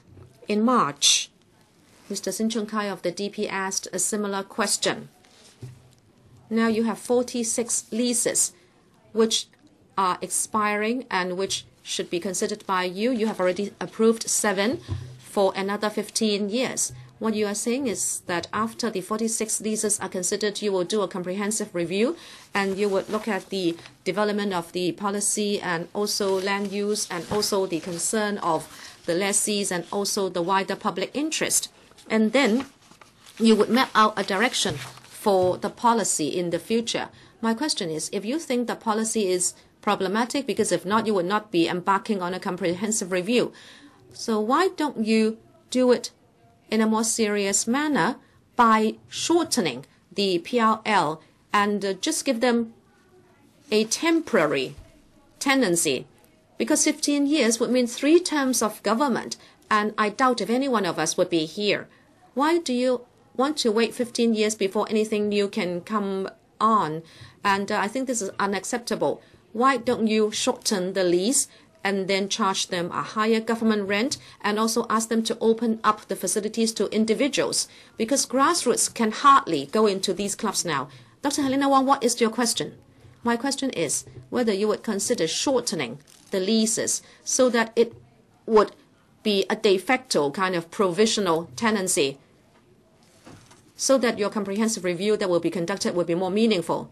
SHA, President, let me clarify certain figures. There are about 70 such clubs.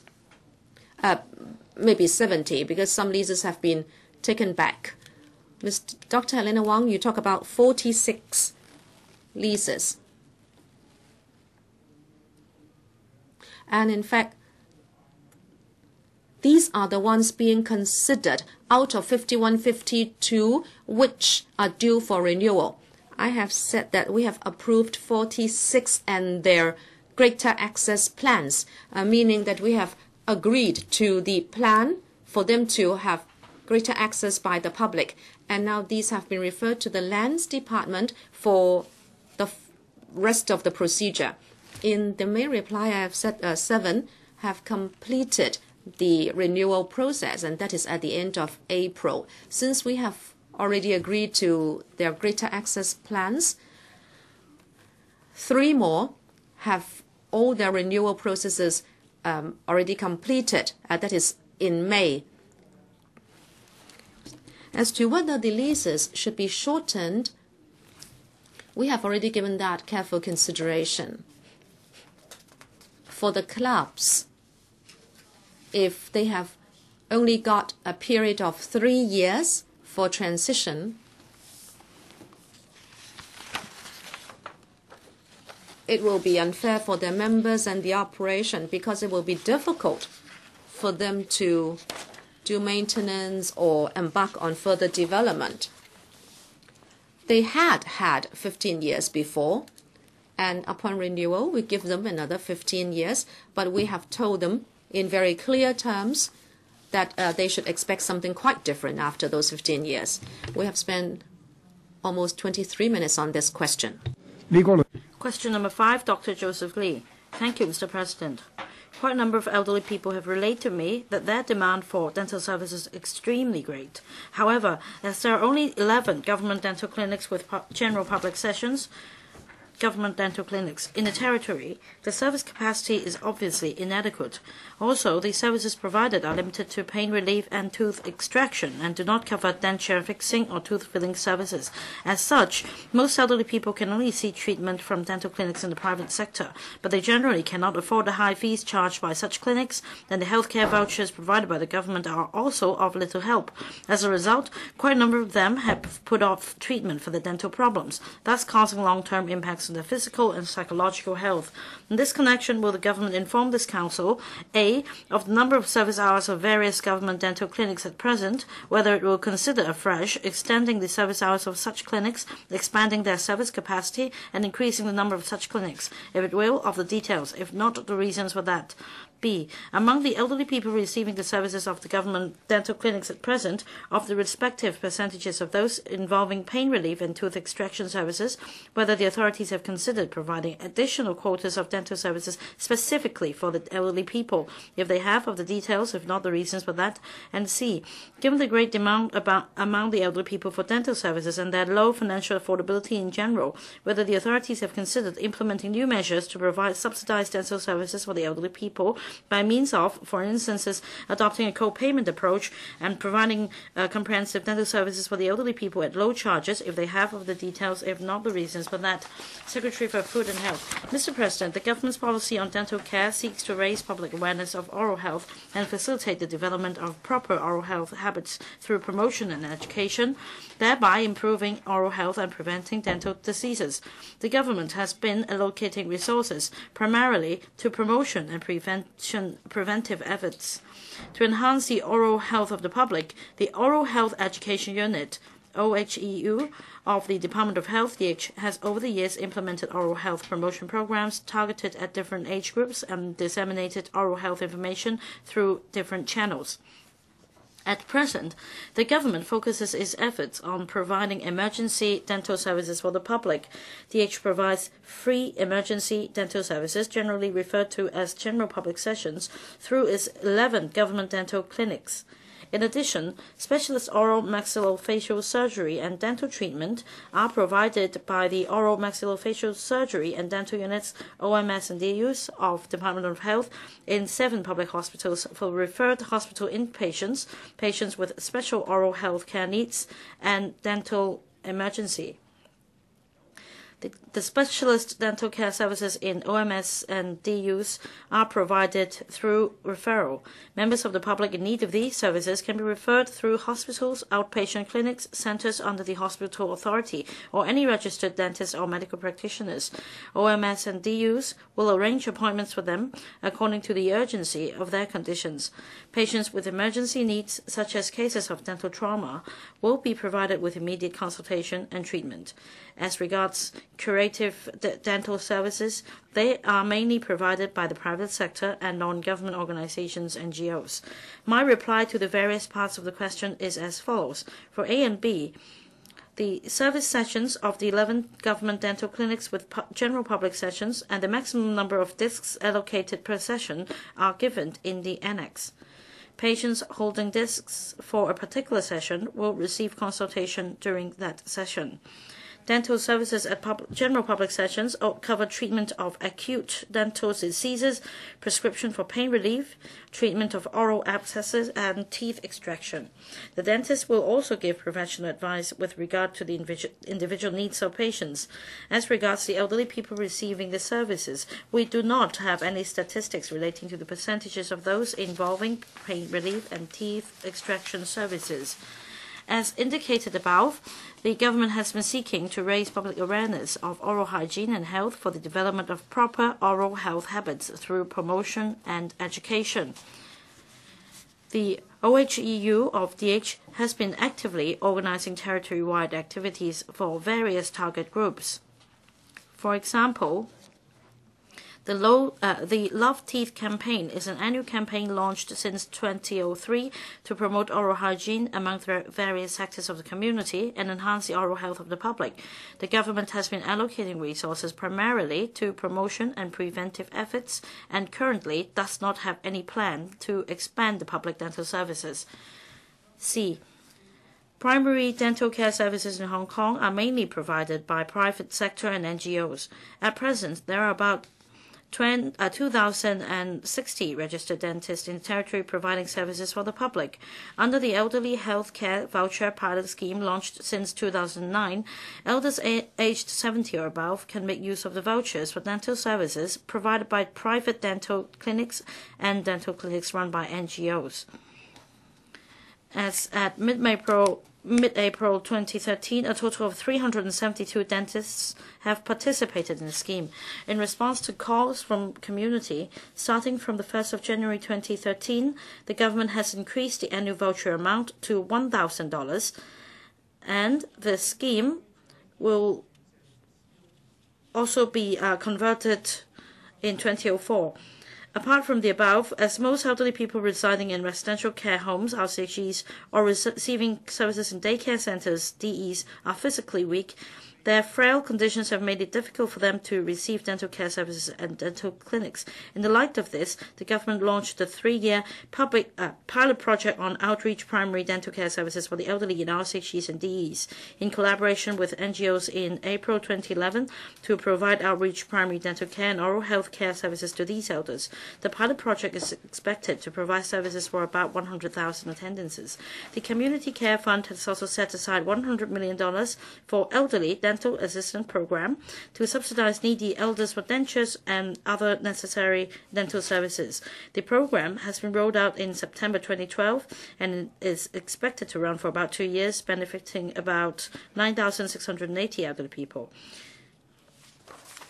As for elderly people with financial difficulties, currently dental grants are given under the Comprehensive Social Security Assistance CSSA scheme to recipients who are aged 60 or above, disabled, or medically certified to be ill health. Eligible CSSA recipients can approach the 54 dental clinics designated by the Social Welfare Department for dental examination and estimate of cost and then choose to obtain the relevant dental service from either the designated dental clinics or any registered dentist at non-designated dental clinics. The grant will be paid to meet the cost charged by the non-designated clinic, the cost estimated by the designated clinic, or the ceiling amount set by the SWD, whichever is the less. We will continue our publicity and education efforts to improve the oral health of the public. Thank you. Dr. Joseph Lee. Mr. President, Secretary hasn't answered the third part of my question.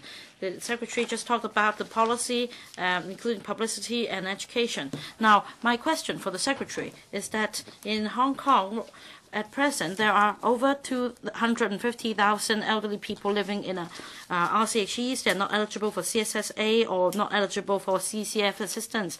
And for um, these elderly people, and uh, over 200,000 of them, only uh, have uh, less than a full set of teeth. Uh, some only have 17 or 20 teeth. So the situation is that uh, there are a lot of elderly people not covered by the policies you mentioned. Is there any way to help them, Secretary? Mr. President, as we understand, the Community Care Fund does focus its resources on helping needy elders who are not in RCHEs or who are not uh, uh CSSA recipients. But the eligibility criteria for subsidy are that uh, they should be elderly people now receiving the home-based uh, um, community uh, support service by the SWD. So, since the program has just uh, been uh, just commenced, uh, it's not certain how many elderly people are involved. But we anticipate that with the ongoing of the program, uh, more and more elderly people will receive the subsidy. And the Community Care Fund, the Secretary is repeating his answers. I am saying that uh, there are elderly people who have uh, visited your clinic, they have uh, undergone tooth extraction, and then they are not covered by CCF and the CSSA. So what can you do to help them? Well, the Secretary hasn't answered, uh, finished his answer. Well, in fact, I'm addressing his question. Dr. Lee was asking about a group of elderly people not covered by the uh, several policies mentioned, and in fact, uh, the CCF assistance program at present uh, has quite a narrow scope. However, we do have a working group to review the eligibility criteria uh, on a regular basis and consider whether the assistance program can be expanded in scope to cover those elderly people mentioned by Dr. Joseph Lee. Dr. Priscilla Leung. A toothache is uh, much worse than the uh, other ailments uh, for elderly people. So there shouldn't be any abuse of dental care services because um, many people are afraid of visiting dentists. So for uh, CCF, uh, $100 million have been set aside to help these elderly people. And uh, since uh, four or five months ago, um, when the program started, uh, well, only about uh, 10,000 elderly people uh, have benefited from the scheme, from this from the program. So, have you considered expanding the scope or modifying the model um,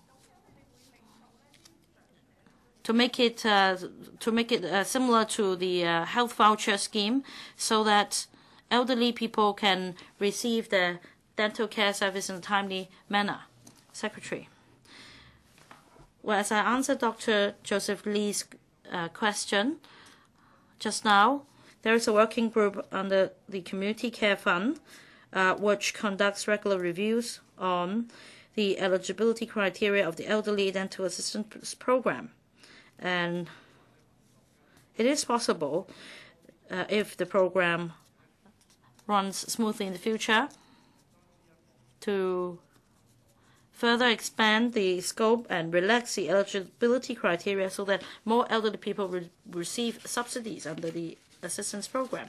As for uh, the possibility of a dental care voucher scheme, in fact, under the existing elderly healthcare voucher scheme, the vouchers can be used for receiving dental care services, and the amount has been released uh, has been increased from five hundred to one thousand dollars since the beginning of this year, and elderly people under the scheme can also accumulate the voucher amount to up uh, up to three thousand dollars. So elderly people can make use of the healthcare vouchers to receive dental care services. As for whether a uh, specific uh, voucher scheme can be set up for dental care services only, I think that, that it will, won't be flexible. Uh, yes, Dr. Priscilla Leung.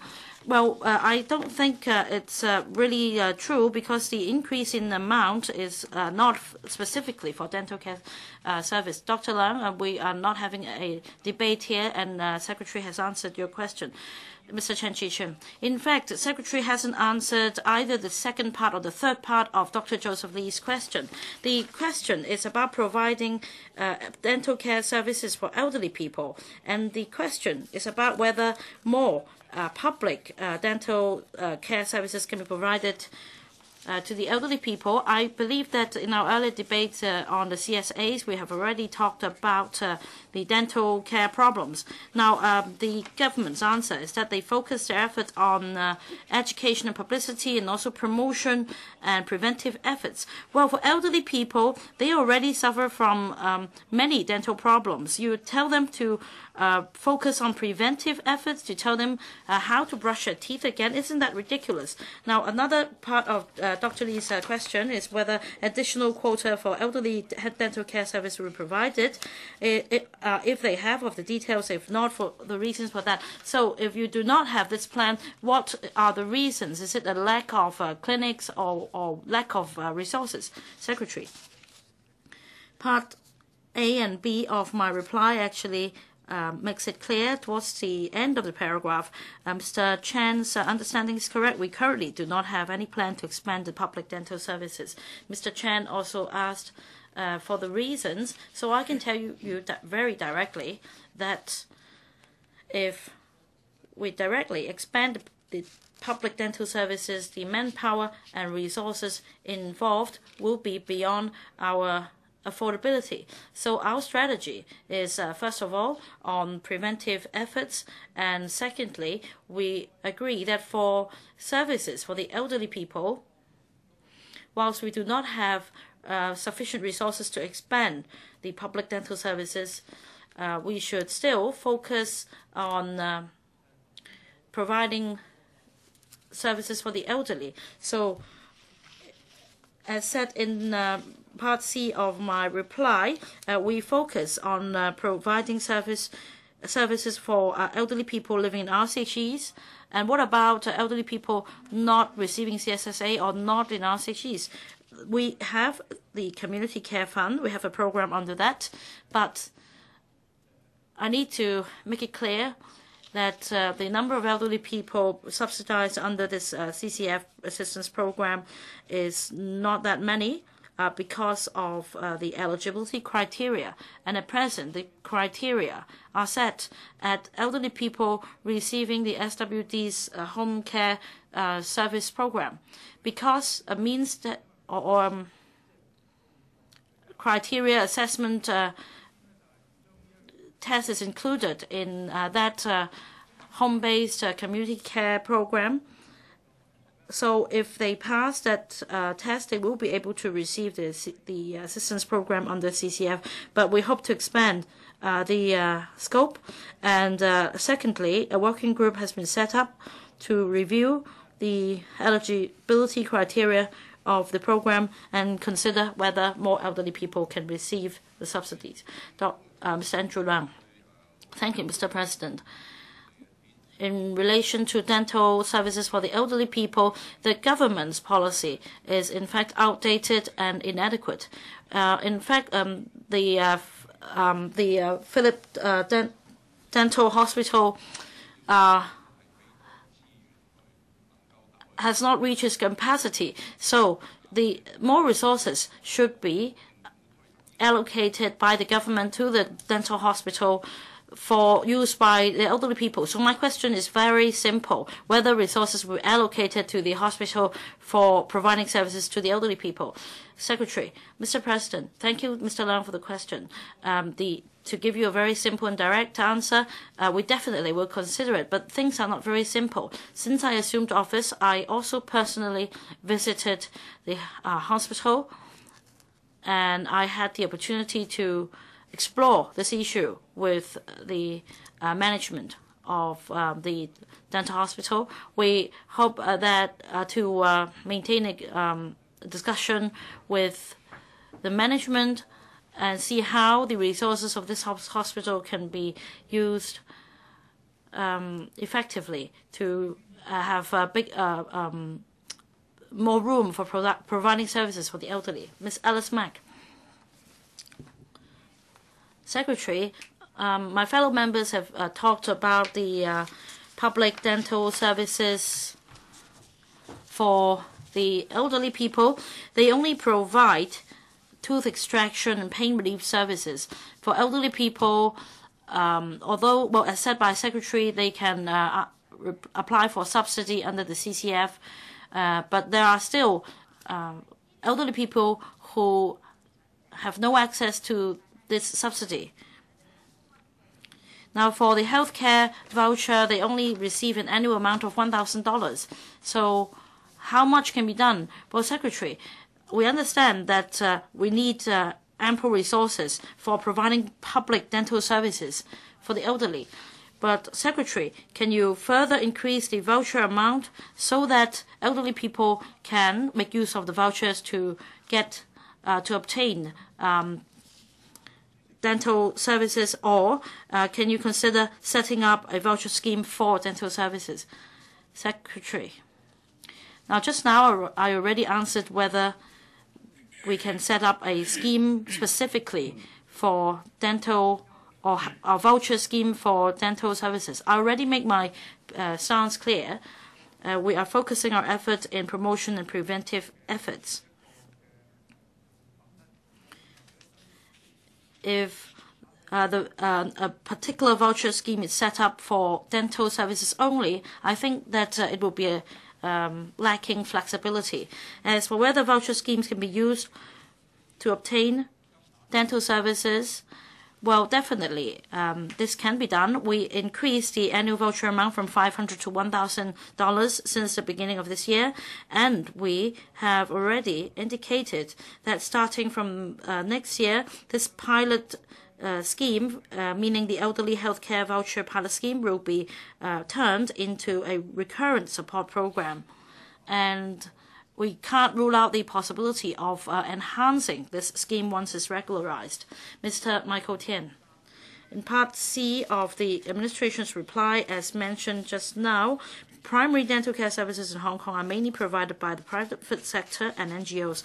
And the Secretary just now also answered why dental services uh, cannot be provided uh, by the public healthcare sector. The reason is that the resources involved are too much. Now we have a recurrent healthcare expenditure of uh, $50 billion.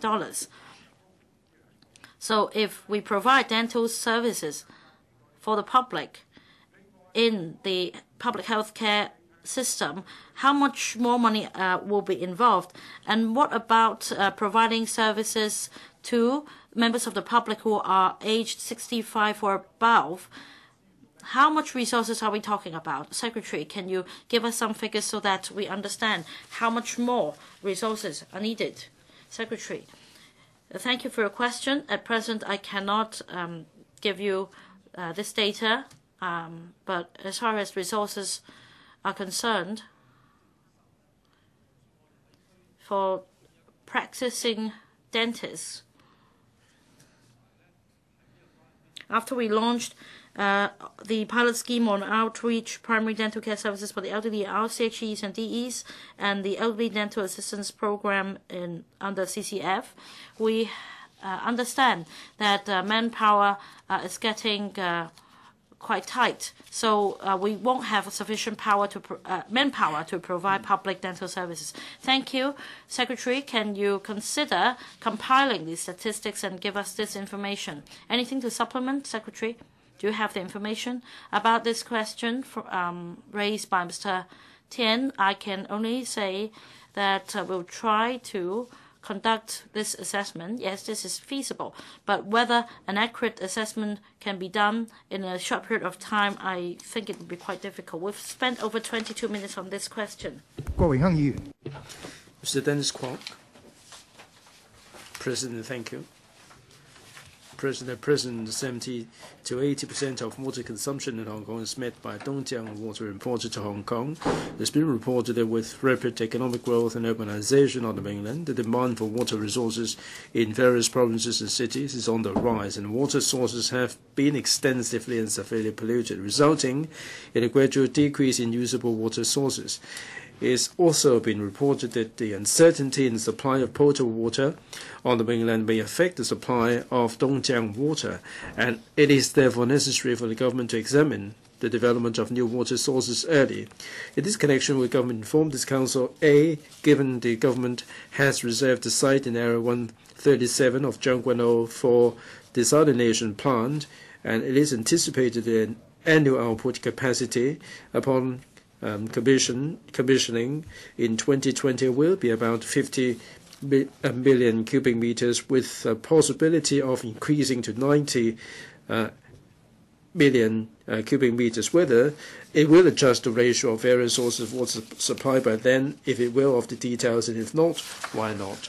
B as there are a certain number of water catchment facilities and stormwater storage tanks in Hong Kong, for example, the water catchment facility in Happy Valley, which is under construction, and the Hong Kong West Drainage Tunnel, which is com was completed last year for alleviating flooding problem in urban areas.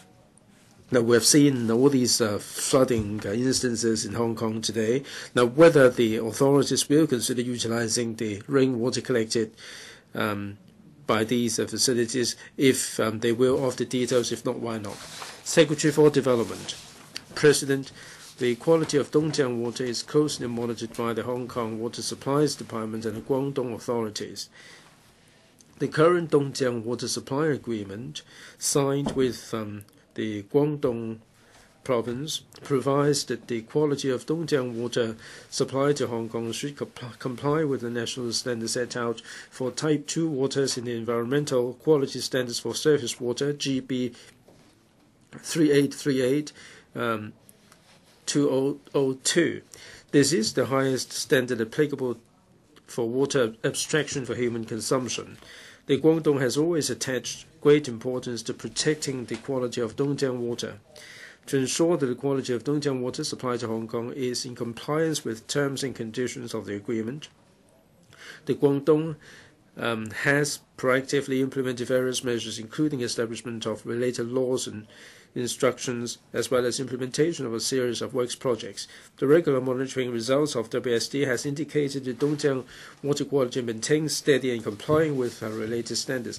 After suitable treatment and rigorous disinfection process, processes at um, water treatment works, the fresh water is uh, in full compliance with uh, requirements set out by the uh, WHO and is safe for consumption. On developing new uh, water sources, the government has been working from time to time on its policies and measures for Hong Kong's fresh water supply. We've also implemented diversified water supply management measures under the Total Water Management Strategy promulgated in 2008. They include uh, seawater desalination, water reclamation, grey water reuse, and rainwater harvesting. My reply to the two parts is as follows. The planning and investigation study of desalination plant at Tseung Kwan O commenced in December 2012 and is expected to be completed by end 2014. The study scope covers detailed feasibility study, preliminary design, site investigation, impact assessment on environment, traffic and um, drainage, cost estimation, and cost effectiveness analysis. Subject to study findings, the government will draw up the timetable for construction, which is expected to commence operation in 2020 at the earliest. The proposed desalination plant will have an output capacity of approximately 50 billion cubic meters, or MCM per annum, with the provisions for future expansion to 90 MCM per annum. The strategy promulgated in 2008 has mapped out the strategy for balanced supply and demand of water to support sustainable development in Hong Kong. The strategy focuses on two major areas, namely water demand management and water supply management. On demand management, the initiatives include stepping up public education, promoting water conservation, promoting the use of water saving devices, enhancing water leakage control, and extending the use of seawater for toilet flushing.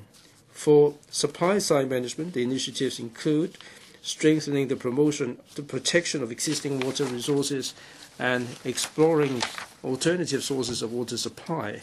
Other related measures include water reclamation, grey water reuse, and rainwater harvesting, while seawater desalination is only one of the options under consideration.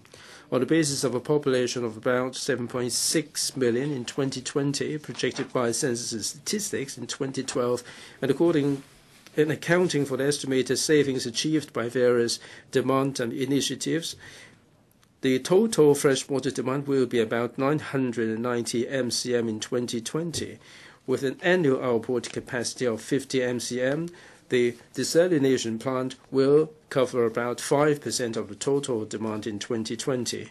The amount of water supplied from other water sources should not exceed the current levels. B. To reduce flooding risk in urban areas, the Drainage Services Department has, has adopted a strategy of flow interception and flood storage, involving the construction of drainage tunnels and underground flood storage tanks in taking forward these projects, we have also explored the possibility of reusing the rainwater collected in drainage tunnels and storage tanks. When studying drainage tunnels, the DSD has examined various options for reusing rainwater collected. However, all these options would require huge capital investments in building additional tunnels and or pipe works together with pumping or storage facilities. The result revealed that reusing rainwater collected in these drainage tunnels would not be cost effective. As for flood storage tanks, for the purpose of effective flood prevention, the rainwater collected after a, rain, a rainstorm in flood storage tanks must be discharged as soon as possible in order to prepare for the next storm. Reusing the stored Rainwater requires the construction of additional storage tanks and associated water transfer facilities. As these facilities would only be used for several rainstorms a year, their cost effectiveness is therefore doubtful. Moreover, rainwater running through uh, developed areas would be contaminated by the filth on the surfaces of buildings and roads. The filth is the result of exhaust gases from vehicles traveling on roads, bird droppings on rooftops, or animal excreta on the ground, etc. To protect public health, the rainwater collected must be treated before it can be reused safely. As such, the treatment cost is another factor to be considered. All in all, reusing rainwater collected through developed areas in drainage system for non-potable uses is not cost effective.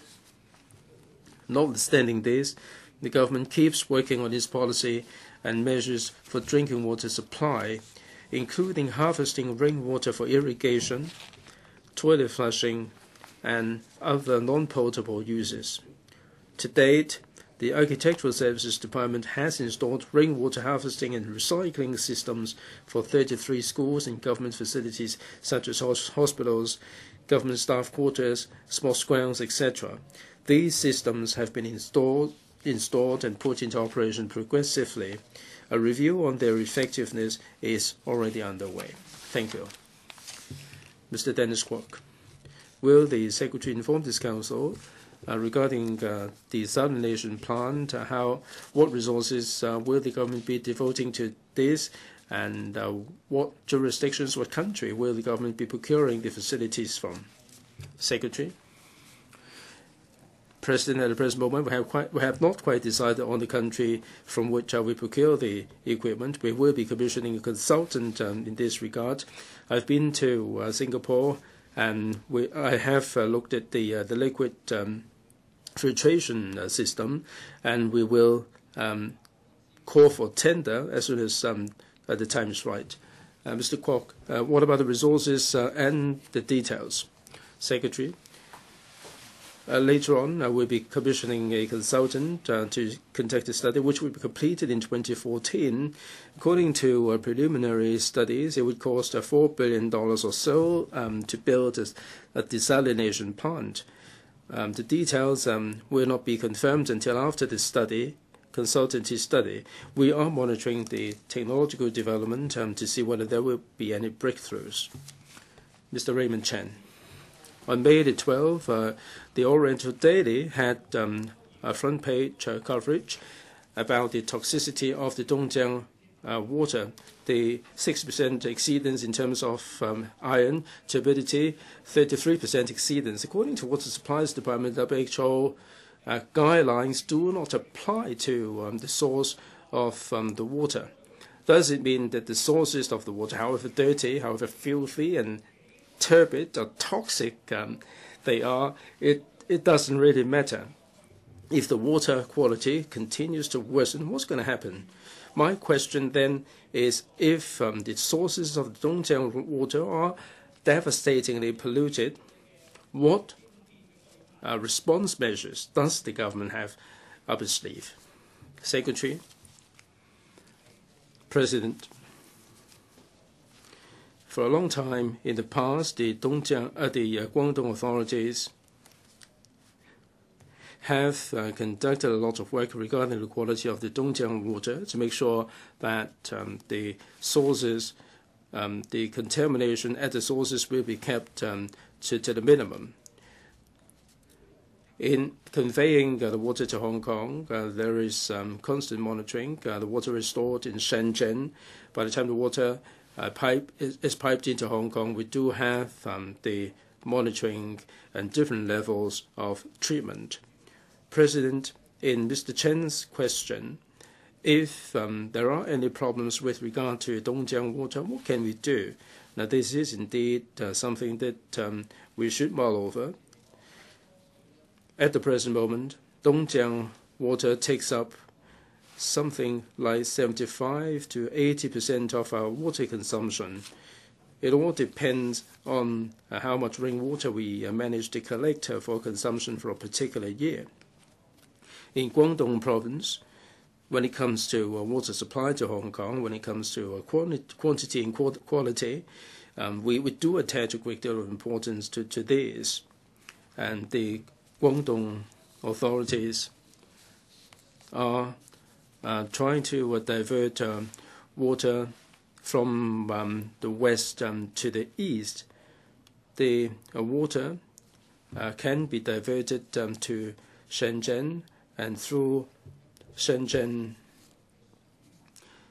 there will be it will become um, an emergency support um, for Hong Kong uh, when uh, the situation is getting desperate. But this is only the pipeline. Mr. Chan. So even if the sources of water are turbid, toxic, dirty, and filthy, uh, the water treatment uh, by the Water Supplies Department can set our mind at ease. Is that right? Secretary, while I can uh, give members the assurance that uh, the water the, uh, for consumption is in line with um, the WHO um, standard.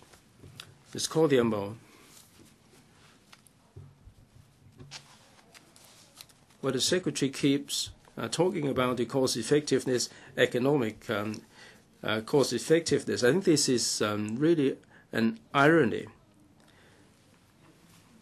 Now, over the years, we have um, dumped um, the $3 billion worth of Dongjiang water into the sea because we have uh, taken uh, more than we needed um, the desalination plant would cost $4 billion. In my uh, question number 14, precisely I was um, asking a question about the desalination plant.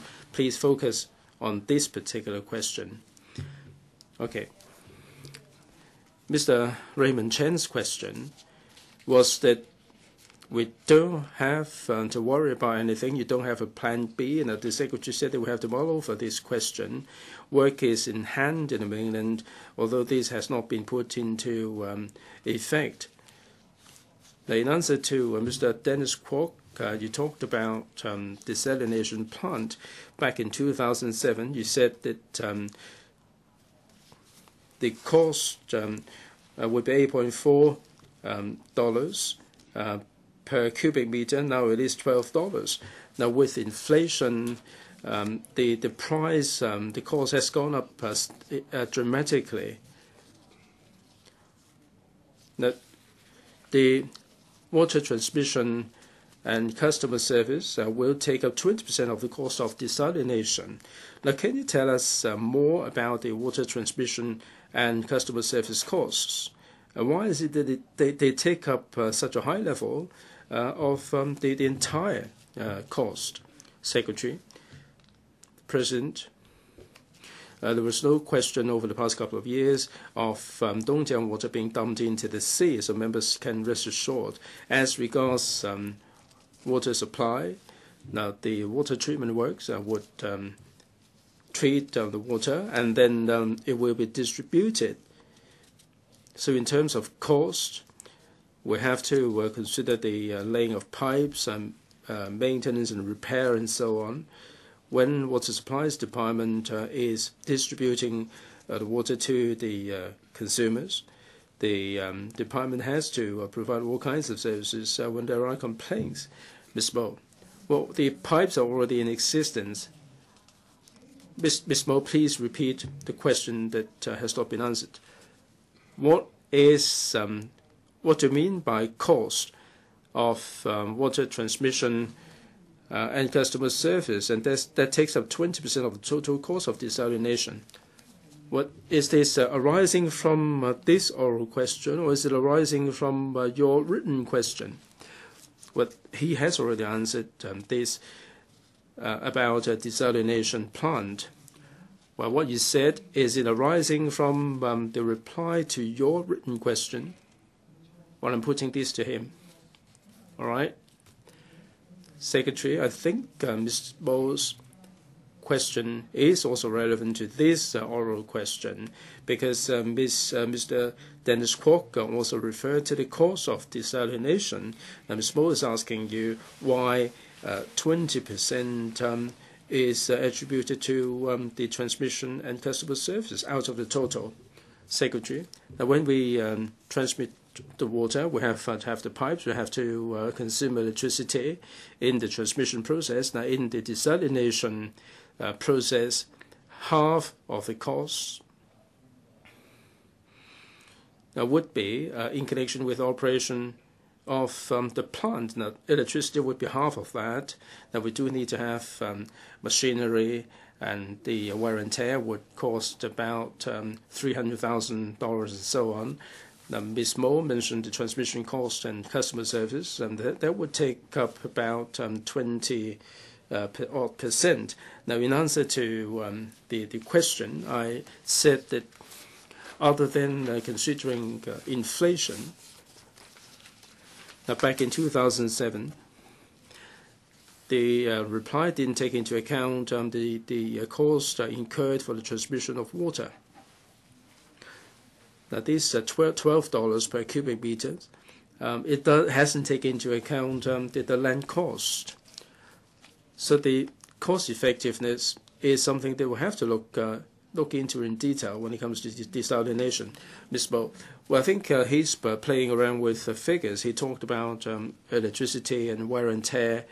I think these um, should be included uh, in the um, depreciation.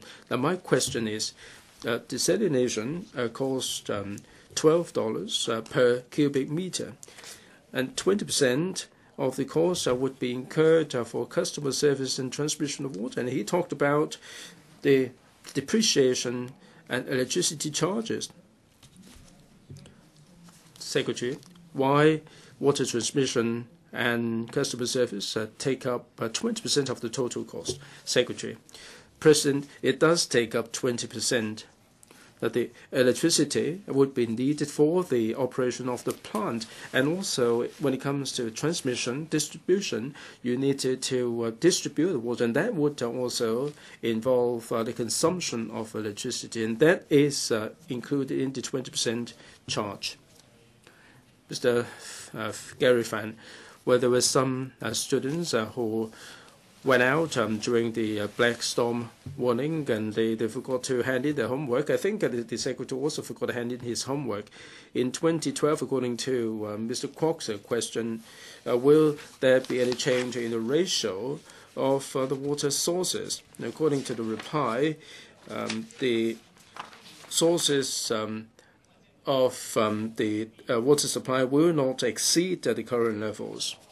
The secretary also said that um, they would consider uh, or explore uh, the policies regarding water supply and uh, other water sources. Water desalination would be one of the uh, areas under consideration. If I may put this um, to the secretary, you need to have some direction going forward. My question is, why don't you increase um, the ratio of um, other sources of water supply? Why do you not in, increase that beyond the current levels? And also, according to the study, uh, it was shown that there is potential for seawater desalination for Hong Kong. Other than Tseung Kwan O, will there be other areas that will be identified for the construction of desalination in order to increase um, the, the ratio of uh, water supply in this regard, and that would um, reduce uh, the amount of uh, polluted Dongjiang water and expensive Dongjiang water that we procure. Secretary, from now to 2020, um, the population will increase from 7.1 billion to 7.6 billion. Now, there, there is going to be an increase in water consumption as a result. Now, with um, this increase in water consumption, how are we going to uh, meet the need if we don't increase um, the supply from uh, the existing sources? Um, that the uh, desalination would um, produce 50 uh, mcm to 90 mcm, uh, or 9% or 5% of the existing uh, water consumption. So we are working on this um, in order to meet the demand, but I don't think everything can happen overnight. And I don't think we can um, overnight uh, increase all these different sources in order to minimize um, the Dongjiang water supply. And Dongjiang water takes up uh, 78% of our consumption. It is the cheapest. Water desalina desalination is expensive. Let's uh, bear in mind that uh, there is also environmental impact. We cannot um, conduct a desalination everywhere. We have to collect water from clean sources. Now, when the water is pumped back out, there would be impact on the environment as well. I'm not suggesting for one minute that we're not doing uh, any desalination, but given the existing technology, um, the we have to consider the cost uh, that will be incurred. We have to take a, ste a, step at a time.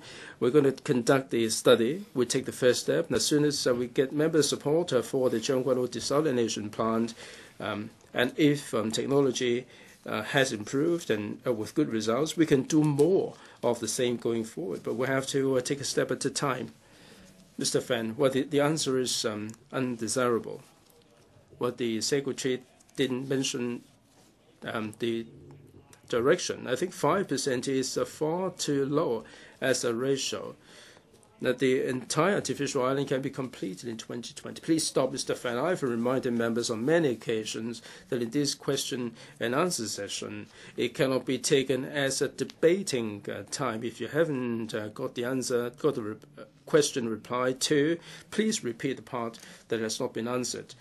You're not supposed to um, engage in a debate here. Yes, also uh, the ratio of the water supply. Please repeat the part that has not been uh, answered. I repeat that. Uh, since Dongjiang water is uh, very polluted and it's very expensive, the Secretary, you, in the days to come,